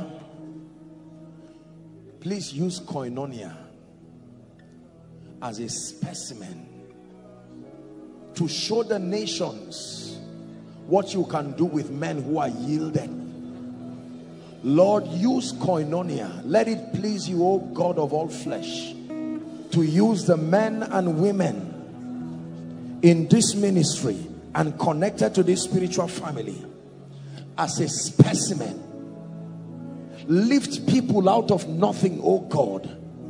And may they become trophies that flaunt your glory around the earth. Place something upon our lives, oh God, that will cause us to mentor kings and speak your purposes to nations. Place something upon our destinies, oh God, that will cause kings to lose their loins for us. Grant us the grace for cities, the grace for territories, the grace for nations, that we will speak your word and reveal your glory even to kings. Lord, I pray in the name of Jesus, cause us to be your workmanship that is recreated in Christ Jesus even unto good works let our priesthood be seen all across the earth let that kingly dimension be seen all over the earth cause our words to be like the word of God let us speak oh God and by our speech let us shift things in the spirit in the name of Jesus I pray for everyone under the sound of my voice. Life to your prayer life. In the name of Jesus Christ, I decree and declare life to your prayer life. I shift you to a new level of fellowship. In the name of Jesus, let there be mighty fire upon your life. I decree and declare that you will begin to command strange results in prayer change things in prayer rewrite things in prayer keep darkness at bay through prayer. Command miracles signs and wonders through prayer. Open gates for greater glory through prayer. In the name of Jesus Christ I pray for you. Like Solomon prayed over Jerusalem that every time you pray may the covenant of this ministry back your prayer. In the name of Jesus Christ the integrity that God has vested upon us and upon this work. Let it also speak while you pray. In the mighty name of Jesus Christ I speak to you tonight. Command results. Command strange results. Results that will dumbfound principalities.